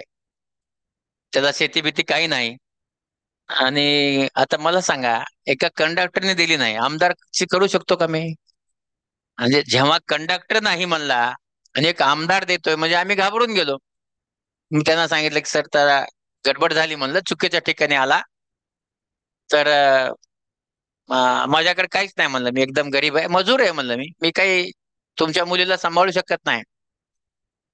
कधी कधी माणसं आणि मेरिट दोन काम करतं लक्षात ठेवा. तो माणूस चांगला होता पुढे राहिला नाही. त्यांचा मुंबईतच मर्डर झाला. पण सहा महिन्याने माझ्या. पण ते काय म्हटले मला? की मी तुझ्या शेतात किंवा तुला किती घर आहे याच्यासाठी मुलगी द्यायला आलो नाही. तुझं first year second year third इयरचे जे परीक्षेचे जे मार्क आहेत हे वर्गात पहिला आणि दुसरा कॉलेज विद्यापीठात पहिला आणि दुसरा एवढ्या मेरिटचा तू आहेस आणि मी त्या तुझ्यातल्या मेरिटला मुलगी द्यायला आलोय तुला तुझ्या पैशासाठी नाही. म्हणजे कधी कधी तुम्हाला मेरिट असेल तर आयुष्यात चांगल्या गोष्टी मिळतात. आणि त्यांनी ती मुलगी मला दिली ती माझी सध्या बायको आहे. लक्षात आणि म्हणून नेहमी लक्षात ठेवा जर एखादी मुलगी नाही म्हटली तर पुढे चांगली मिळत असते. नेहमी लक्षात ठेवा. घाबरून जाऊ नका. आणि बघ तसं झालं. लग्न माझं झालं आणि माझं स्वयंपाक करायचं बंद झालं. माझा फायदा एकच झाला की स्वयंपाक बंद झाला. ते आपलं पैसे द्यायला लागले. पण कधी कधी लक्षात ठेवा. हे जन्मत असताना ते म्हणतात ना सटवी नावाचा कोणी माणूस असतो ते टीका टाकतो. डिसेंबर महिन्यात तीन डिसेंबरला आता हाफथनलॉईचा पेपरच्या दिवशी साहेब मुंबईमध्ये त्यांचा मर्डर झाला आणि ते वारले. डोळ्याचा पेपर मी डोळ्या या विषयात नापास झाला माणूस. आय फेल नाही परीक्षा देऊ शकलो नाही नापास झालो. येऊन दिली पण मार्क कमी पडले. म्हणून नेहमी लक्षात ठेवा नापास झाल्याने तर लोक आता सांगितले त्यांनी मला मी डोळ्याचा चांगला डॉक्टर आहे म्हणून. नापास झालेला माणूस आहे. चांगला असो किंवा नसो पण त्या विषयात नापास झालतो. पुन्हा काही दिवसांनी पास झालो. आणि मला ऑप्थॉलॉजी करायचं नव्हतं. करिअर लक्षात ठेवा. मला करायचं होतं लहान मुलांचा डॉक्टर किंवा हाडाचा डॉक्टर का? गरिबी चार बहिणी दोन भाऊ आई वडील शेत नाही. अशा परिस्थितीतला माणूस होतो मी. आणि म्हणून मला काही ना काही पीजी करायची होती. आपलं सांगतो की अशा या ह्याच्यामध्ये पैसे मिळत नव्हते मला. तिथं त्यावेळेस तुम्ही रेसिडेन्सी निवासी डॉक्टर लक्षात येत असेल तुमच्या. आणि ते मिळावं म्हणून मी नेत्राच्या विभागामध्ये ऑप्थॉलॉजी मध्ये पीजी घेतली. सहाशे रुपये पर मंथ तेव्हा मला एक बाळ होत. आणि बायको सांभाळायची सासू सांभाळायची आणि आई वडील लेकर बहिणी भाऊ मोठा परिवार होता. आणि त्यानंतर मग मी ऑप्थॉलॉजी मध्ये माझं शिक्षण झालं. ऑप्थॉलॉजी करायचं नव्हतं मला. म्हणून नेहमी लक्षात ठेवा की कधी कधी कंपल्शन असतात की मला एक्सच मिळालं पाहिजे. आणि एक्स नाही मिळालं तर लगेच मग सायकॅट्रिक प्रॉब्लेम करून घ्यायचे लगेच डोकं दुखायला सुरू करायचं लगेच सगळे हेडेक व्हायला सुरू करायचे झोप येत नाही असं नसतं. आपल्या आयुष्यात आपल्याला पाहिजे तेच मिळेल असं कधीच समजू नका. जे मिळतं त्याला प्रेम करून त्याच्यावर करिअर करायचं. जे मिळेल जे काय मिळेल आयुष्यात. पण आता काय आपल्याकडे काय झालंय? मी जेव्हा चर्चा करतो मुंबई पुण्यात आता मी डीन राहिलो आठ वर्ष डायरेक्टर राहिलो सात वर्ष. आणि त्यामुळे माझ्याकडे जेव्हा मुलं येतात किंवा आई वडील येतात तेव्हा त्यांचं ठरलेलं असतं की I want to do the this in K E M काय? की मला केईएममध्ये एमबीबीएस करायचे समजा ते मिळालं नाही काय फरक पडतो जे जेच करा. सायनला करा. पण ध्येय काय? ध्येयमध्ये जाऊन एमबीबीएस करायचे असं कसं ध्येय असू शकतं? आपल्याकडे सत्तावन्न मेडिकल कॉलेज आहेत. तर त्या सत्तावन्न मेडिकल कॉलेजमध्ये कुठेही जाऊन एमबीबीएस करायचंय. नेहमी लक्षात ठेवा. ध्येय गाठण्यासाठी निमुळता रस्ता निवडू नका. तो तुम्ही निवडला तर तो रस्ता तुम्हाला कधीच मोठ्या रस्त्याला घेऊन जात नाही. हे बघा निमुळत्या रस्त्यात एक गाडी उभी असेल तर तुमची गाडी जात नाही. पण मोठ्या रस्त्यात दहा गाड्या उभ्या असतील तरी पुढे जाऊ शकता. आणि म्हणून रस्ता निवडत असताना तुम्हाला काही तुमचं ध्येय निवडायचं आहे. हे निवडत असताना असं निवडा की त्यामुळे तुम्हाला सायकोलॉजिकल अँझायटी डिप्रेशन नावाच्या गोष्टी होऊ नये. काय असतं की आपण असं गच्च धरून बसतो त्या आपल्या ध्येयाला. हा ध्येय माझा. नाही हो असं नाही चालत. तुम्ही अभ्यास करा की पंचवीस तीस ध्येय ठेवा ना. त्याच्यातलं एक कुठलं तरी मिळेल चालेल. आणि कधीही लहान ध्येयापासून सुरू करा. एकदाच I S I P S नाही होत. आलं लक्षात? मग आपल्याकडे कसं आहे की तुम्ही विचार करा ना. एक एकशे चाळीस कोटी लोकांच्या मध्ये सगळ्या मिळून नोकऱ्या किती आहेत? सगळ्या मिळून. पूर्ण भारत देशात मिळून नोकऱ्या किती आहेत? पाच कोटी. मग एकशे पस्तीस कोटी लोकांपैकी पंचवीस कोटी लोक खाजगीत काम करतात. म्हणजे किती झाले? चाळीस कोटी. राहिले किती? शंभर कोटी. काय काम आहे? काहीच नाही. तर हे जे कॉम्पिटिशन आहे हे खूप मोठं आहे. आणि म्हणून प्रत्येकाचं जरी ध्येय असेल की नाही आपलं आता काहीतरी करायचंय. हे होणं शक्य नाही. आणि म्हणून त्यासाठी आपला मार्ग मोठा असेल तर ते सोपं पडतं. मी अफथलनाजी पास झाल्यानंतर जेव्हा मी पास झालो त्याच्यानंतर आंबेजोगाईला जाऊन रुजू झालो. आपलं सांगतो की मुंडेंचा मी जावाई तेव्हा गोपीनाथ मुंडे आमदार होते. लोक मला येऊन सांगायचे की हा मुंडे का? म्हणजे माझं लहाने हे नाव त्यावेळेस घ्यायचे पण नाहीत लोक. पण त्याने डिप्रेशन होऊन काय फायदा नाही आहे आणि माझ्याकडे एकही पेशंट डोळ्याचा येत नव्हता. कसे यायचे? राजकारणी लोक तुमचे नातेवाईक आहेत. काय येणार? मारहाण फ्रॅक्चर हे सगळं गोंधळ आपल्याकडे यायचं. आणि कोण यायचे? सगळे असेच घेऊन यायचं त्यांना. मग त्यांना तपासायचं त्यांना बघायचं त्यांना दाखवायचं. डोळ्याचा नाही. ऍक्सिडेंट डिलिव्हरी हेच यायचं आपल्याकडे. पण आता हे सोडायचं का? नाही. काय येतं त्यात लक्षात ठेवा. काय शिकवलं मला त्याने? की आलेल्या प्रत्येक पेशंट हा आपला. त्याचा विषय काही असो. त्याला नेऊन दाखवायचं. त्याला नेऊन चहा पाजायचा नमस्कार करायचा. हळूहळू तो जाताना विचारतो तुम्ही काय करता साहेब? माझा डोळ्याचा डॉक्टर आहे. हा तुम्ही काय करता? डोळ्याचा डॉक्टर आहे. आणि असा बघा माणूस कसा डॉक्टर होतो सांगतो. मी दोन गोष्टीमुळे डॉक्टर झालो. एका गावामध्ये सगळ्याच लोकांना व्हिटॅमिन ए डिफिशियन्सी झाली. पाणी जे असतं ना पाणी पाण्यामुळे पूर्ण गाव रातांदळ झालं. म्हणजे रात्री ही सगळी लोक सहा वाजता दरवाजे बंद करायचे. अजीवनसत्व कमी पडलं. आणि मग त्या गावातली दोन चार मुलं माझ्याकडे आले. त्यांना लिटरली त्यांचा कॉर्ण्या मेल्ट झाला होता. इतकं जास्त अजीवनसत्व कमी होत. आणि म्हणून मी ठरवलं की वा आपण त्या गावात गेलं पाहिजे. आणि मग मी गावामध्ये गेलो त्यांच्या मी पाहिलं की त्या पाण्यात काही प्रॉब्लेम आहे तर ते पाण्याच्या लोकांना सांगितलं किंवा तुम्ही हे पाण्याचं वगैरे बघा. आणि मी एक छोटी आयडिया केली. मी पाच सात दिवसानंतर पपईच्या बिया घेऊन गेलो. आणि प्रत्येकाच्या घराच्या पाठीमागे परस असतो घराच्या पाठीमागे उकिरडा असतो. असं प्रत्येक गावातली घर आहेत. सगळीकडे जाऊन त्या बिया टाकल्या. त्या गावातल्या सरपंचाला सांगितलं याच्यातनं पपया येतील. त्यांच्या त्यांच्या घरातल्या लोकांना खाऊ दे. आणि तीन वर्षानंतर त्या गावामध्ये एकही माणूस अजीवनसत्व कमी पडलेला नाही. सगळ्यांचे सगळ्यांचं केलं म्हणजे कॉमन गोष्ट केली किंवा हे असं झालं पाहिजे. मग ते सगळं पत्रकारांनी छापलं वगैरे वगैरे वगैरे. पण बेसिक बेसिक काय केलं? की कन्सेप्ट आहे किंवा हा अजीवनसत्व आपला द्यायचं त्यानंतर लोक माझ्याकडे हळूहळू यायला लागले. हा डोळ्याचा डॉक्टर आहे. आणि आपलं सांगतो की मी पुढे जाऊन कॅम्प करायला लागलो. खेडेगावात जात. होतो पण दोनच पेशंट यायचे.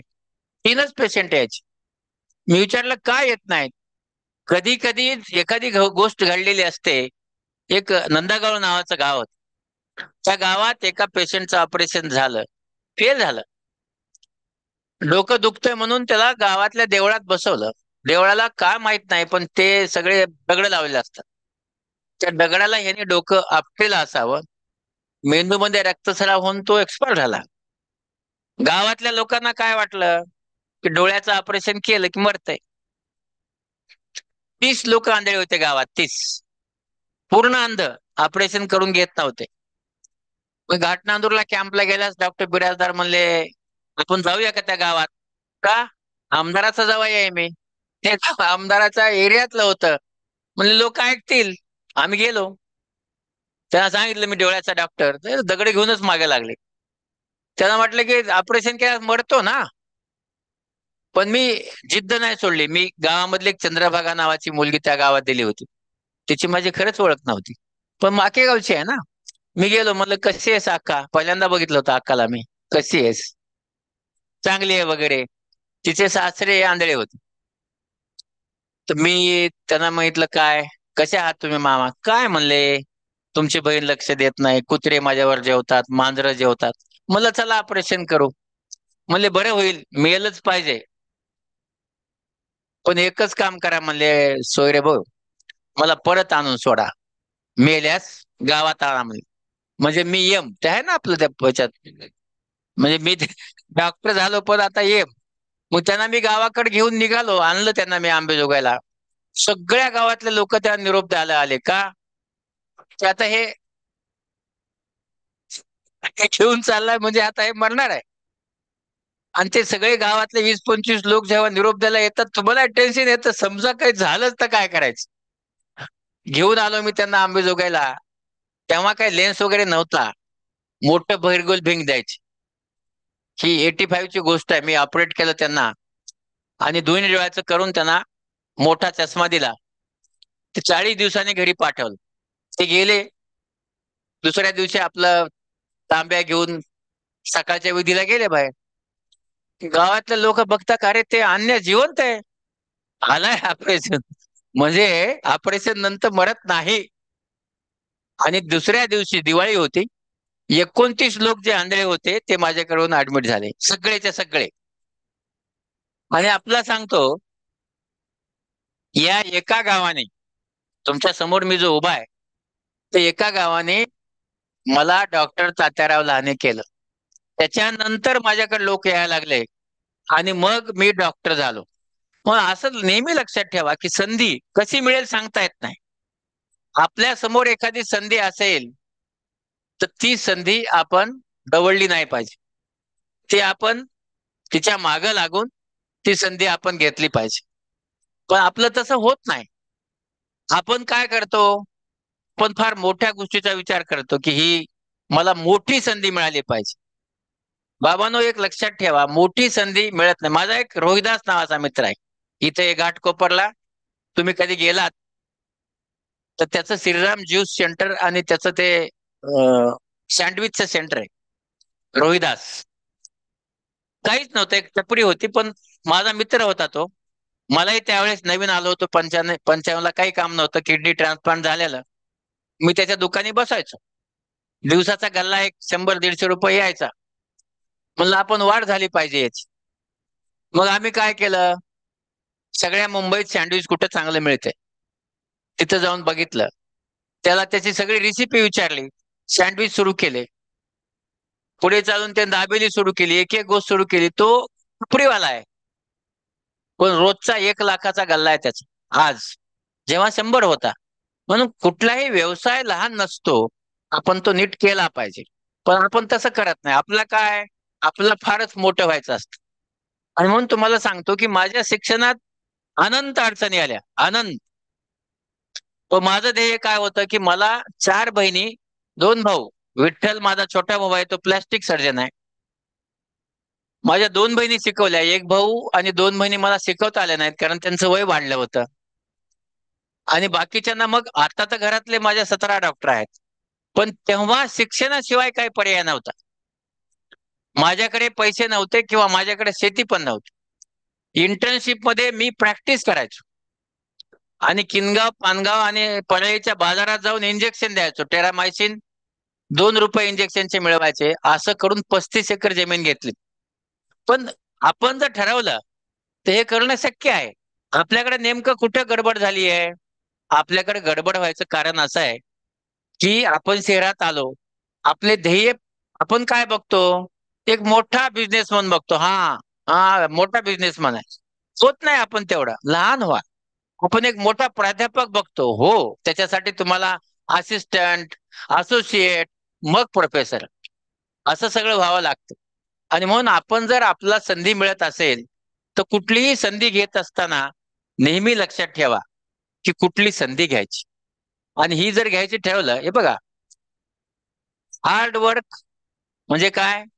हार्ड वर्क सातत्य. तुमचं सातत्य असेल तुमचं हार्ड वर्क असेल यश येणारच आहे. पण एके दिवशी हार्ड वर्क आणि चार दिवस झोप असेल नाही येणार आहे. म्हणून ध्येय ठेवत असताना हार्ड वर्क केलं पाहिजे एक सातत्य ठेवलं पाहिजे दोन नेहमीसाठी केलं पाहिजे.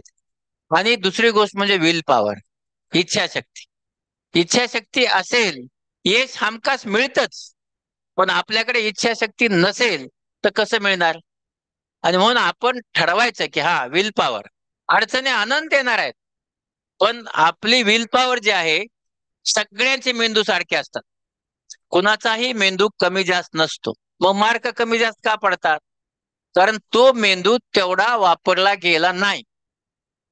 आहे का नाही? म्हणजे आपल्याकडे जर तुम्ही कॉम्प्युटर कोणी वापरत असाल तर रॅम मेमरी आणि डिस्क मेमरी ह्या दोन मेमरी असतात. तुम्ही मला बघताय ही रॅम आहे ही डिस्क नाही. तर तुम्हाला डिस्कमध्ये घालायचंय त्याला सेव्ह करावं लागतं. सेव्ह कसं होतं? माऊस आहे आपल्याकडे माऊस माऊसने सेव्ह करतो. मग आता आपल्या शरीराचा माऊस काय? डोळ्याची पापणी. बंद करा आठवा. बंद करा आठवा. मनन करणे म्हणतो आपण त्याला. आठवलं की ते डोक्यात जात. म्हणून एखादं पुस्तकाचं पान वाचलं तर पान वाचून पुढे जाऊ नका. पान वाचणे हा तुम्ही विद्यार्थी असल्यामुळे हे तुमचं काम आहे. पण पान वाचून लक्षात ठेवणे इच्छाशक्ती. ती जर तुम्ही लक्षात ठेवली तर इच्छाशक्ती आहे. आणि म्हणून इच्छाशक्ती कशी आहे? की तुम्ही पान वाचा डोळे बंद करा आणि ते पान आठवा. जेव्हा आठवाल तेव्हा पंधरा टक्के आठवतं. मोठे मोठे तुम्हाला त्याचं हेडिंग त्याच्यातले काही फिगर्स वगैरे दिसतात. पुन्हा एकदा ते पान वाचा. का? माऊसमुळे तुमचा मेंदू आता स्टिम्युलेट झालाय. जे परीक्षेत होतो. आणि मग तुम्ही जेव्हा सेकंड टाइम वाचाल तेव्हा ते पान पन्नास ते साठ टक्के लक्षात राहतं. आणि दॅट इज डिस्क मेमरी किती दिवस राहते? ही डिस्क मेमरी आपल्याकडे जी आहे ही जवळपास फारच कमी वर्ष राहिली तर दहा वर्ष राहते दहा. आपल्या मेंदूत राहते ती कायम. आणि म्हणून आपण विल इच्छाशक्तीने जर हे शिकलं तर यश येणार आहे. आणि यश येण्याच्या पाठीमागे यशाची गुरुगुली काय? हार्डवर्क इच्छाशक्ती आणि सातत्य. या तीन गोष्टी आपण केल्या येस हमखास मिळते. आणि म्हणून तुम्हाला सांगतो की मी काही फ्रंट बेंचर नव्हतो. आय वॉज बॅक बेंच शेवटी बसायचो. हे बघा तेव्हा तुमच्या या पंचवीस लाईनी कापून मी इथे येऊन उभा आहे. का उभा आहे? सातत्य. काही केलेलं नाही मी. मी जे काही बाहेर जाऊन सर्जरी केल्या त्या सातत्याने दरवर्षी जाऊन केल्या. रोज सकाळी सात वाजल्यापासून रात्री दहा वाजेपर्यंत आजही काम करतो. म्हणजे तेरा ते चौदा तास मी गेली पंचेचाळीस वर्षे काम करतो. काय केलंय? सातत्य. मी फार हुशार माणूस नाही आहे. हुशारी फार लागत नाही. पण आहे तेवढी हुशारी मी माझ्या कामाला वापरतो. जे काही माझ्यात हुशारी आहे म्हणजे माझ्यापेक्षा इंटेलिजंट फार आहेत. पण माझा नेहमी लक्षात ठेवा की आमच्या फील्डमध्ये अनुभवाला महत्त्व आहे ज्ञानाला नाही. आणि म्हणून माझा जो अनुभव आहे त्यामुळे हे करू शकतो. किंवा मी तुम्हाला सांगतो की जवळपास मी एक लाख पंच्याहत्तर हजार ऑपरेशन केले. त्याच्यात एकही फेल्युअर नाही. का? कारण माझी इन्व्हॉल्वमेंट आहे त्याच्यात. प्रत्येक पेशंटचा डोळा हा माझ्यासाठी सगळ्यात महत्त्वाचा आहे. आणि म्हणून मी त्या सगळ्यांना नजर देऊ शकलो. काय केलं? सातत्य. आणि म्हणून आपण असं जर सातत्य ठेवलं तर अडचणी जरूर येतात. पण या सातत्याने माणूस मोठा होऊ शकतो. आणि मी असे बऱ्याचशा अडचणीला तोंड देत देत असं नाही की अडचणी आणि नेहमी लक्षात ठेवा अडचणी आल्याच पाहिजे. अडचणी आल्या नाहीत तर आपलं आयुष्य हे पॅसिव्ह होऊन जातं. आणि म्हणून नेहमी लक्षात ठेवा आपला एखादा मित्र क्रिटिसाइज करत असेल तर त्याच्यावर प्रेम करा. का? तुकारामाने सांगितलंय निंदकाचे घर असावे शेजारी. का त्याचं कारण सांगतो? तर चोवीस तास आपल्या चुका बघत असतो. का बघतो चुका? आपण यशस्वी झाल्याशिवाय लोक आपल्या चुका बघत नाहीत. म्हणजे तुमचं कुणाचे शत्रुत्व नसतं. पण तुम्ही मोठे झालात की तुमच्याकडे लोक बघत असतात. हा ह्याचं कुठं चुकतं ह्या ह्याचं कुठं चुकतं? आणि म्हणून लोक टीका करत असतील तर तुम्ही यशस्वी आहे ते लक्षात ठेवा. आणि पुढे चालून तुम्हाला सांगतो अडीअडचणी भरपूर येतात. आणि मलाही तशा अडीअडचणी खूप आल्या. पण पुढे चालून तुम्हाला सांगतो की मी पद्मश्री पर्यंत गेलो. बरोबर आहे? त्याच्या पुढचे एक दोन प्रसंग तुम्हाला सांगणार आहे. पण त्याच्या आधी मला मोबाईल बद्दल सांगायचं. कडू डोस आहे हे बघा मोबाईल वापरू नका असं माझं म्हणणं नाही पण पुढे चालून सगळ्यात मोठा वीस वर्षांनी काही प्रॉब्लेम होणार असेल भारतात हा भारतात. भारताबाहेर नाही. तर मोबाईलचा प्रश्न आहे. आपला सगळ्यांचा आपला सगळ्यांचा जवळपास दहा तास ते बारा तास वेळ हा मोबाईलवर जातो. आणि त्याच्यातनं काय फुलत आहे? काहीच नाही. मोबाईलचं मेकॅनिझम आहे का? मायक्रोवेव्ह हो, माहिती आहे तुम्हाला? घरी असतो मायक्रोवेव्ह मला हात वर करा किती लोकांच्याकडे मायक्रोवेव्ह आहे? ओके बस बऱ्याच लोकांकडे. मायक्रोवेव्हमध्ये जर काही ठेवलं गरम होतं का नाही? तर आपल्या मोबाईल मध्ये मायक्रोवेव्ह टेक्नॉलॉजी आहे. रेडिओ फ्रिक्वेन्सी हा त्याच्यामध्ये त्याने वन वॅट वापरले कमी वापरले बरोबर आहे?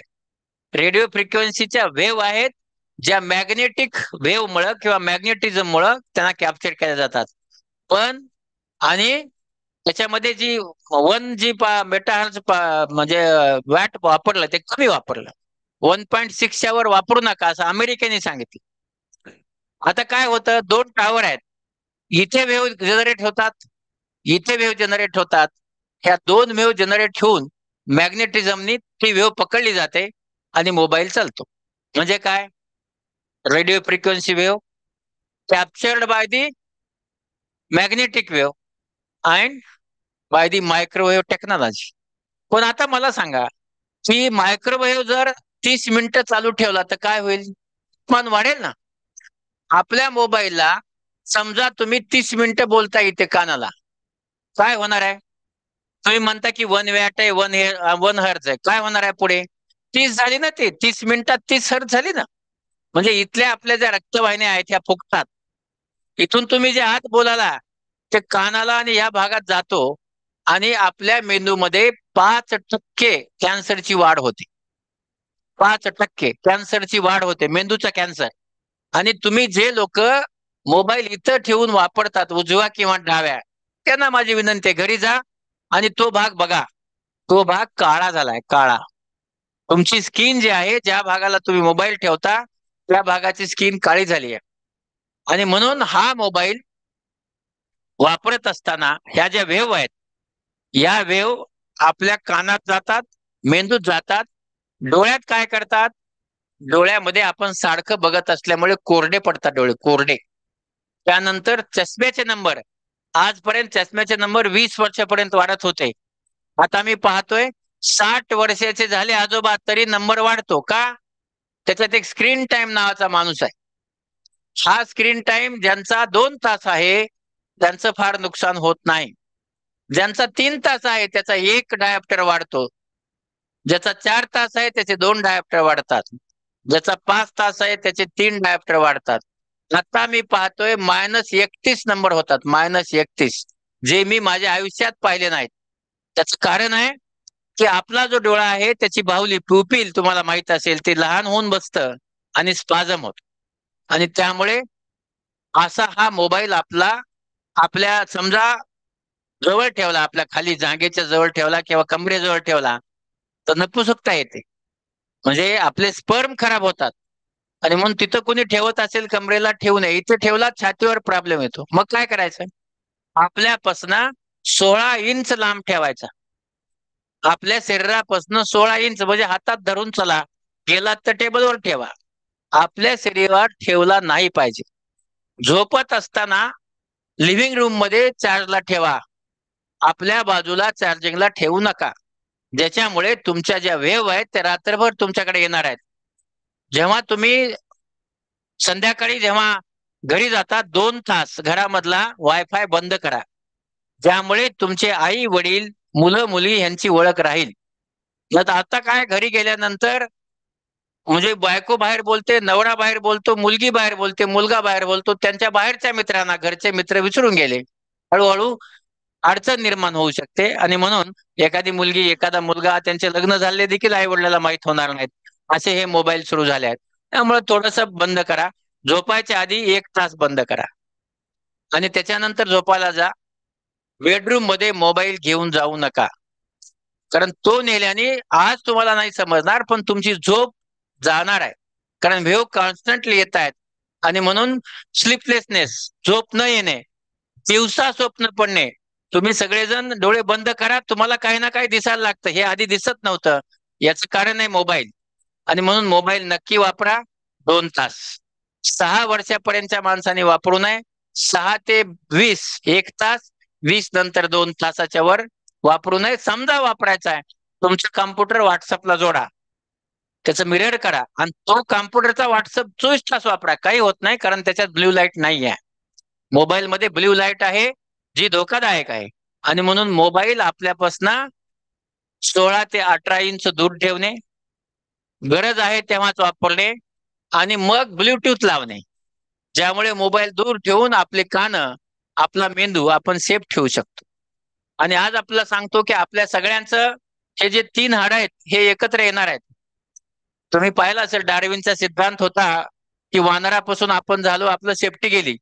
आता हळूहळू पुढचा सिद्धांत असा आहे की हे जे सगळे सात मनके एकत्र होणार आहेत आणि पुढचे लेकर जन्मताना खाली मान घालून जन्मतील म्हणजे त्यांना मोबाईल बघायला काही अडचणच नाही मानच खाली. हा नवीन शोध. दुसरा काय पर्याय नाही. आता कारण प्रत्येक जण मला सांगा कोणी भेटला तरी हा बर बर हा. म्हणजे कुणी येऊ समोर ते फक्त मोबाईल हा महत्त्वाचा आहे.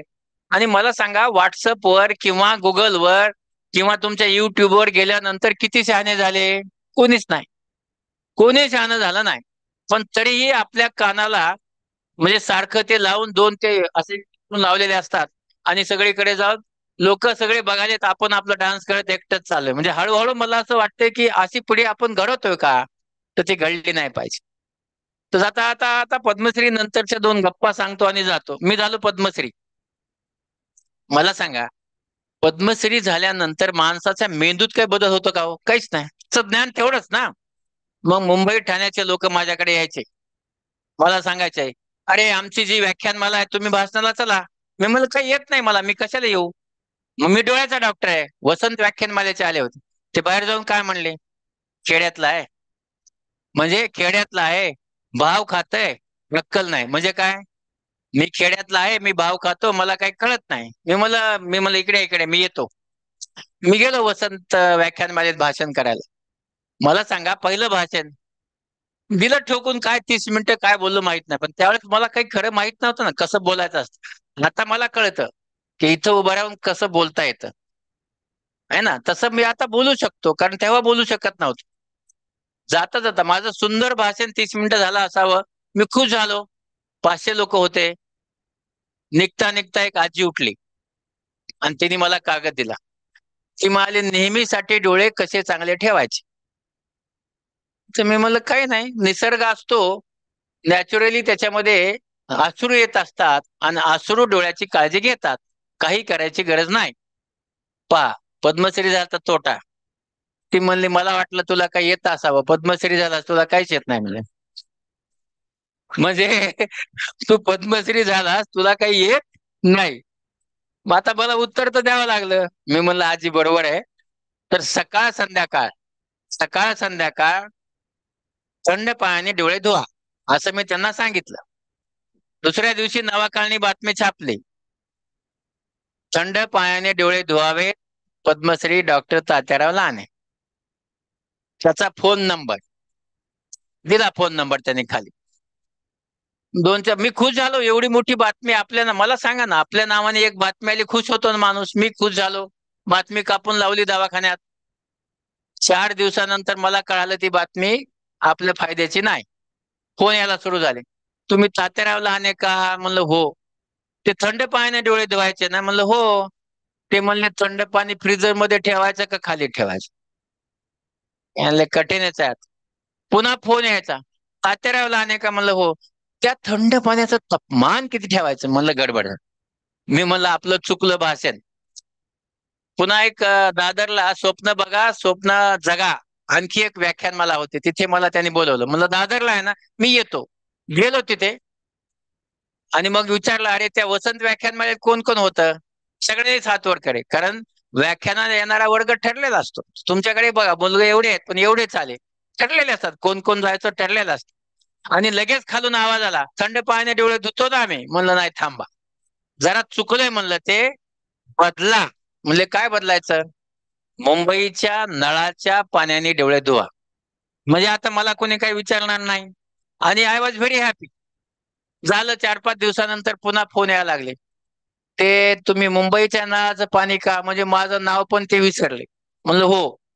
ते म्हणले ते पाणी घेऊन तसं हळूहळू मारायचं का सपा सपा मारायचा? आता काय कटकट करावी? पुन्हा डोळे बंद करून मारायचा का डोळे उघडे ठेवून मारायचे? मला सांगा उघडे ठेवून मारल्यास काय होईल? आणि त्यानंतर माझ्या लक्षात आलं की इथं उभं राहिल्यानंतर भाषण करत असताना चुका झाल्या नाही पाहिजे. आणि त्या कशा नाही करायच्या हे मी शिकलो. अडीअडचणी आयुष्यामध्ये येत असतात. पण ह्या येत असताना आता मी सगळीकडे मला बोलवतात. आता यांनी बोलवलं. हा काय माझा विषय नाही या तुम्ही आर्ट अँड कॉमर्सचे विद्यार्थी आहेत. मला सर म्हणले तुम्ही येऊन गप्पा मारा. म्हणलं मारतो. पण मी एक असा विचार करतो की विद्यार्थी हा पुढे जाऊन घडला पाहिजे. महत्वाची गोष्ट विद्यार्थ्यात एकच गोष्ट आली पाहिजे. ती म्हणजे पॉझिटिव्हिटी आणि इच्छाशक्ती. म्हणजे जर आपल्यामध्ये चांगली इच्छाशक्ती असेल तर आपण शंभर टक्के यशस्वी होतोच. आलं लक्षात? तर आता जाता जाता आपण एक काम करूया की तुम्ही सगळेजण मला असं वाटतंय आपले बेडेकर साहेब बसलेत त्यांच्यासाठी एकदा आपण चांगल्या टाळ्या वाजवूया.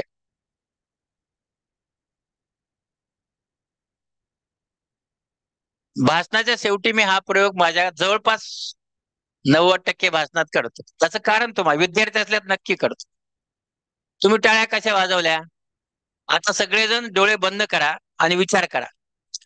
काही जणांनी त्याचे बोट असे खाली ठेवून टाळ्या वाजवल्या. काही जणांनी अशा वाजवल्या आणि काही जणांनी अशा वाजवल्या. ज्यांनी बोट बघा टाळ्या कोण वाजवायला सांगतं? आपला हृदय सांगत नाही. आपला हातपाय सांगत नाही. मेंदू पण सांगत नाही. आपली जी स्वतःची जी ठेवण असते मन पण आत्मा त्याची ठेवण सांगत असते की हा टाळ्या वाजवा. म्हणजे आपण स्वतः आपली थिंकिंग असते तर ज्याने असे खा खाली हात बोट हे बघा बोटाच्या दिशा बघा. ज्याने असे बोट करून वाजवली टाळी. त्यांना जन्मभर प्रगती करायची नाही. तुमच्यात तुम्ही विचार करा कुणी कुणी खाली बोट केले होते? त्यांची प्रगती होणं शक्यच नाही कारण इच्छाशक्ती शून्य असणारी माणसं आहेत. जे खाली बोट करून टाळ्या वाजवले त्यांची इच्छाशक्ती शून्य आहे शून्य. आणि म्हणून तुमच्या तुम्ही ठरवा तुम्ही कुठं आहात? ज्यांनी अशी टाळी वाजवली तर समजा मार्क कमी पडले आईचा दोष मार्क कमी पडले बापाचा दोष म्हणजे जन्मभर दुसऱ्याला दोष देणारी संस्कृती आपलं काही चुकलेलं नाही. आणि ज्यांनी अशा वर करून टाळ्या वाजवल्या त्यांना या जगात काय चाललंय कुणाचं काय हे महत्वाचं नाही तर त्यांना त्यांची प्रगती करायची त्यांना वंश व्हायचे. आणि म्हणून आपण एकदा साहेबांच्यासाठी हात वर करून वर हात जोरात टाळ्या वाजवूया हात वर करून जोरात जोरात जोरात जोरात जोरात जोरात वाजल्या पाहिजे. शाबास आता आपण दुसऱ्या टाळ्यासाठी वाजवायचंय की तुमचं हे सगळं कार्यक्रम करण्यासाठी या मंडळीने खूप मेहनत घेतली. मास मीडियाच्या विभागासाठी एकदा अशाच जोरात टाळ्या वाजवायच्या. आता तुमच्या मी दोनदा टाळ्या वाजवायला सांगितलं लक्षात ठेवा मी डॉक्टर आहे. म्हणजे विचार करून सांगितलं असेल.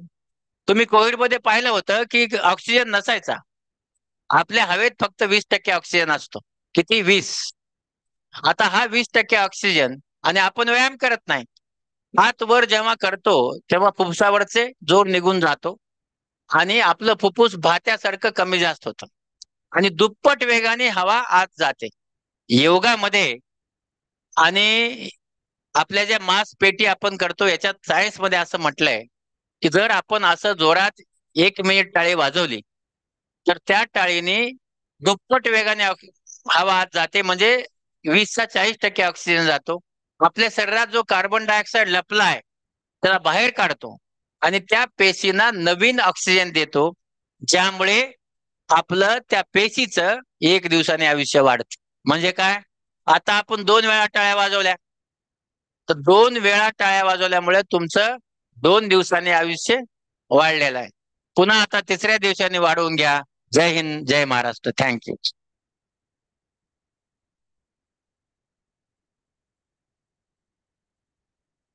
धन्यवाद सर.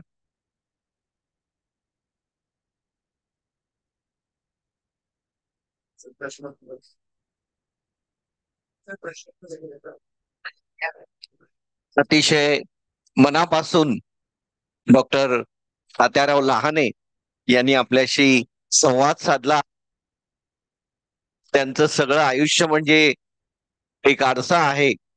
ज्यात आपण बघितलं आपल्याला यशाचा प्रवास दिसतो.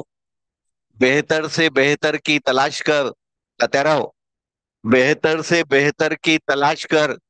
मिल जाए नदी तो समंदर की तलाश कर. टूट जाते हैं शीशे पत्थरों की चोट से तोड़ दे पत्थर। ऐसे शीशे की तलाश कर।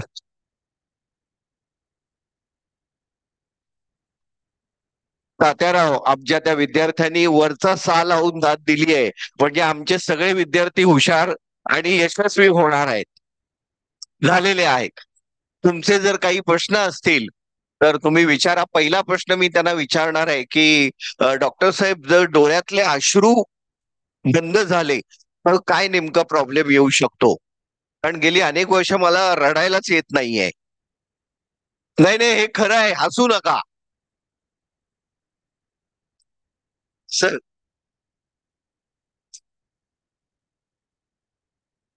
हा ओके. हे बघा त्यांचं जे म्हणणं आहे आपल्या स- आपल्या डोळ्यामध्ये तीन प्रकारचे अश्रू येतात.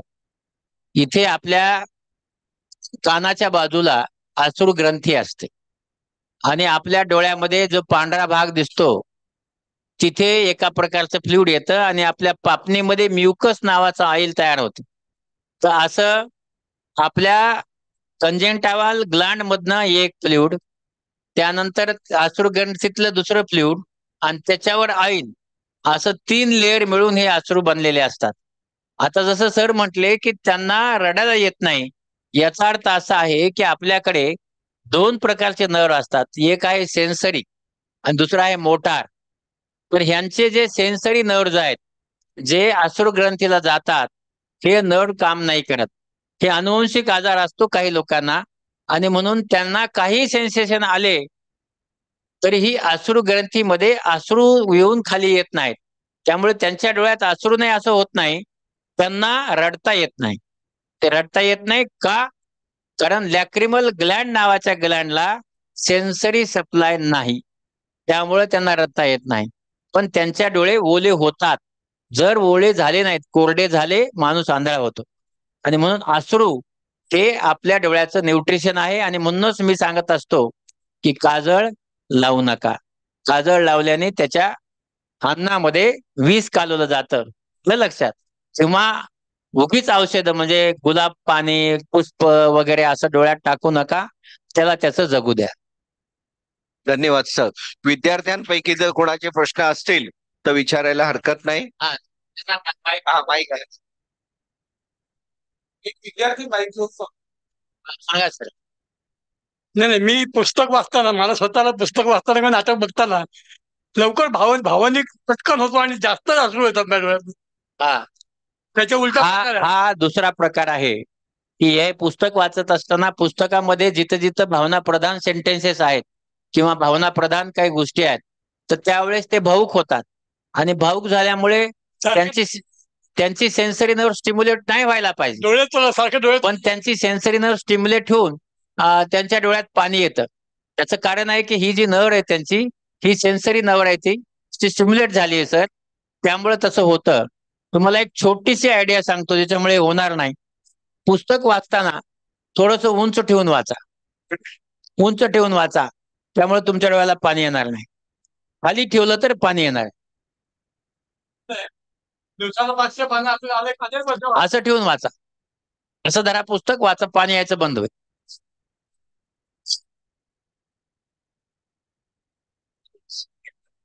नमस्कार सर. आपण सुंदर आम्हाला एक दीड तास एवढं सुंदर वातावरणात नेलं सर. मी एवढंच विचारतो आपण नेत्र तज्ञ आहात. आपण चष्मा लावलेला नाही. ह्याचं. रहस्य काय? हा.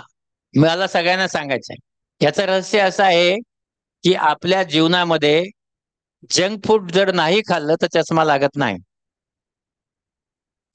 जंक फूड जर खाल्लं नाही तर चष्मा लागत नाही. जवळचा लागतो. मला जवळचा चष्मा आहे दूरचा नाही आहे. पण महत्वाची गोष्ट आहे की मी का खात नाही मला खाऊ वाटत नाही असं म्हणून नाही. माझं किडनी बदललंय दोन्ही किडनी नाही आहेत मला. आणि त्याच्यामुळं मी जंक फूड खात नाही. आणि म्हणून आता सदुसष्टच्या वर्षी पण मला दूरचा चष्मा नाही आहे तर आपण सगळ्यांनी देखील हे थोडं पाळलं पाहिजे. आपल्याकडे काय झालंय? आपण घरचं खातच नाही. सगळेजण पिझ्झा बर्गरच्या मागे लागलोय. पण सगळ्यांनी मिळून आपल्या जेवणामध्ये जिथं ग्लुटीन आहे म्हणजे गहू आहे तांदूळ आहे किंवा हे सगळे जे जंक फूड आहेत ह्यांना अवॉइड केलं पाहिजे ज्यामुळे आपलं आयुष्य जे आहे ते शंभर वर्षापर्यंत जाऊ शकतं. आणि म्हणून बाकी काहीच नाही. खाण्यावर आहे ते त्यामुळे नंबर लागत नाही. हॅलो सर काही जण म्हणतात की चष्माचा नंबर जर कमी करायचा असेल तर रोज सकाळ संध्याकाळी एवढी एवढी कोथिंबीर खाल्ली तर डोळ्याचा नंबर कमी होतो. तर हे खरं आहे का? डोळ्याचा नंबर येण्याचं कारण असं आहे की आपली जे बुबुळ आहे त्याची लांबी आणि आपल्या कॉर्नियाचा आहे. याच्यामुळं नंबर येत असतो. त्यामुळं बाहेरून जे आपण म्हणतो ना की कोथिंबीर खाल्ली गाजर खाल्लं हे खाल्लं त्याने डोळ्याचा नंबर या जगात अशी कुठली वस्तू नाही. जे खाल्ल्याने डोळ्याचा नंबर वाढतो किंवा कमी होतो. हा एवढं निश्चित आहे की तुम्ही जर मोबाईल फार वापरला तर मोबाईल मुळे फट फट फट फट नंबर वाढतो. बाकी कशानेच वाढत नाही.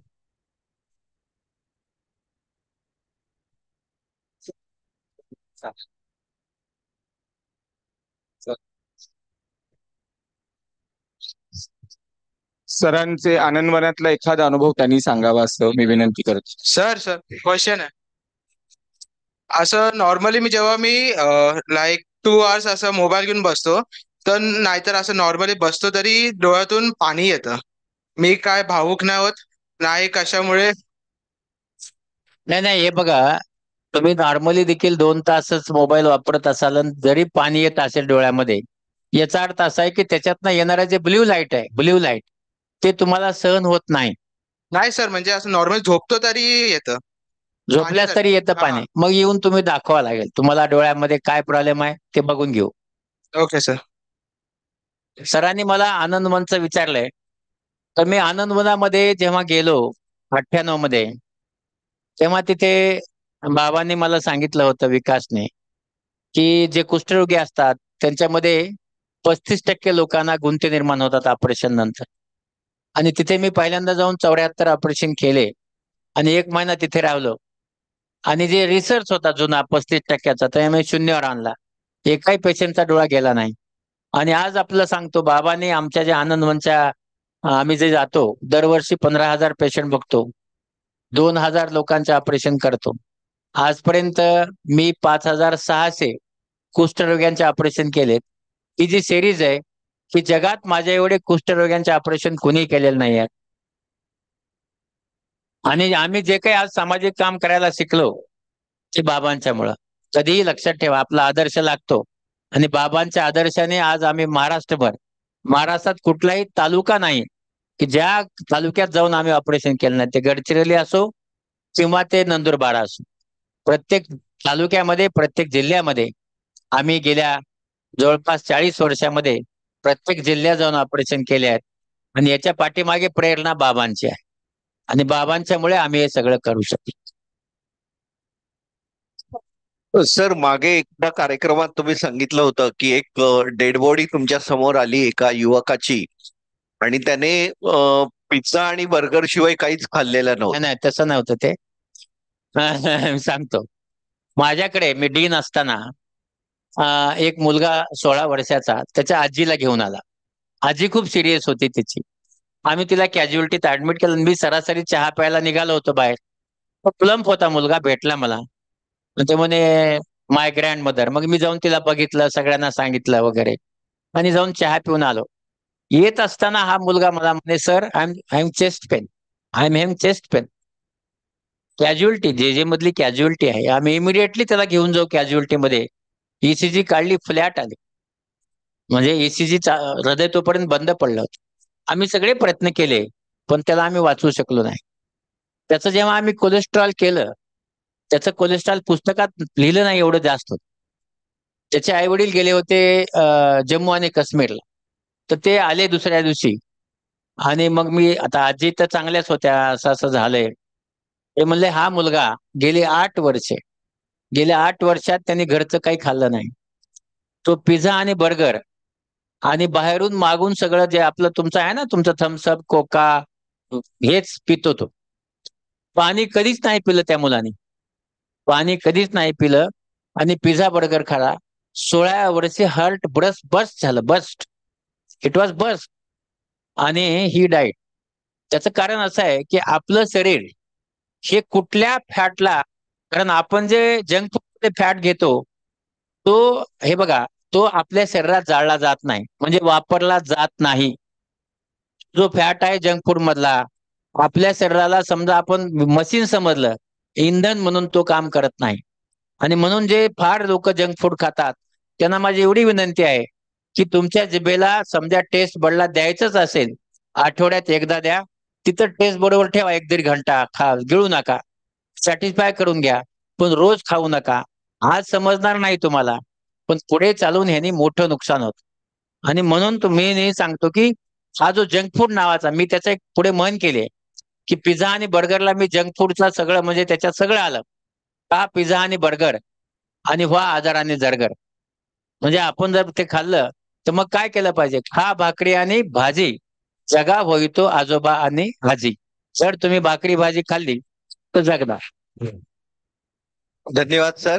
तुम्ही सर बारा वर्षापूर्वी अत्रे कट्ट्यावर आला होतात.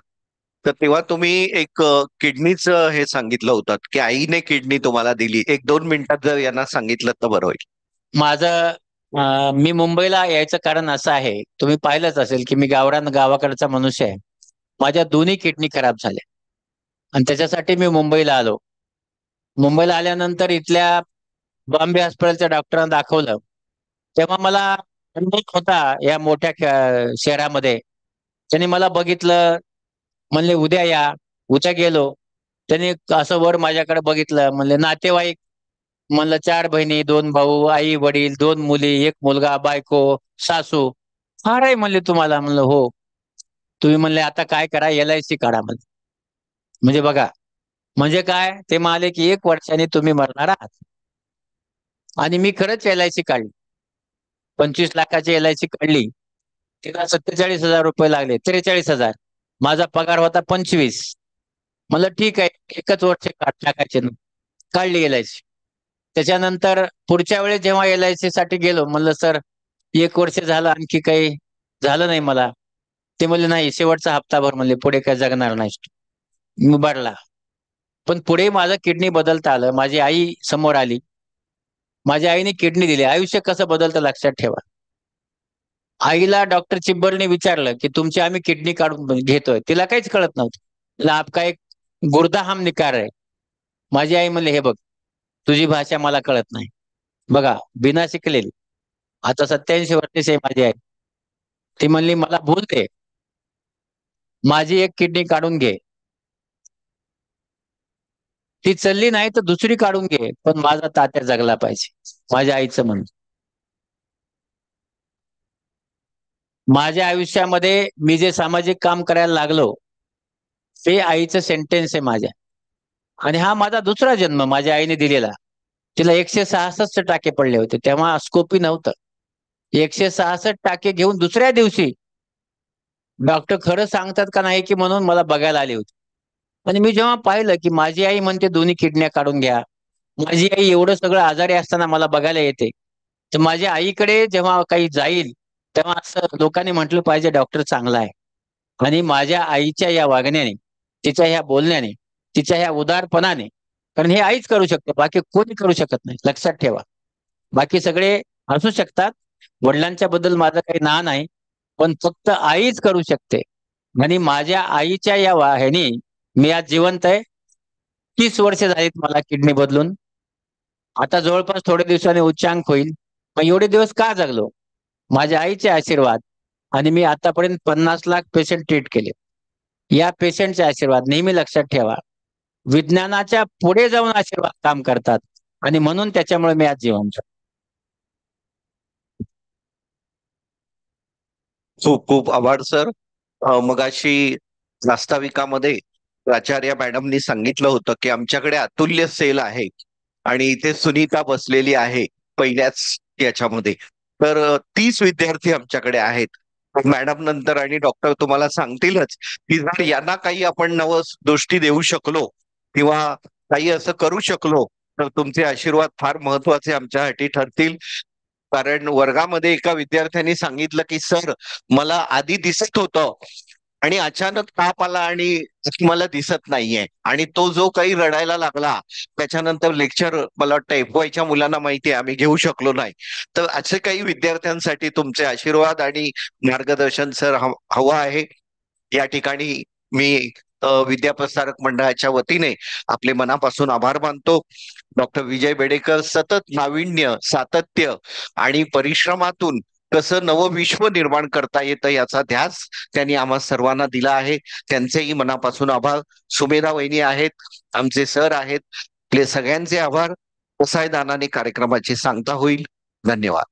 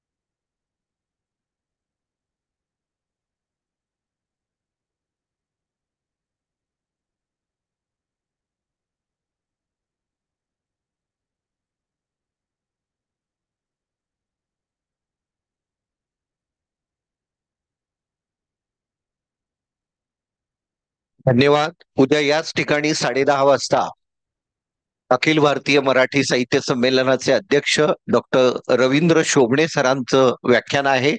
सर्व विद्यार्थ्यांना विनंती आहे की त्यांनी सव्वा दहा वाजता इथे उपस्थित राहायचंय. पाहुण्यांचे आभार.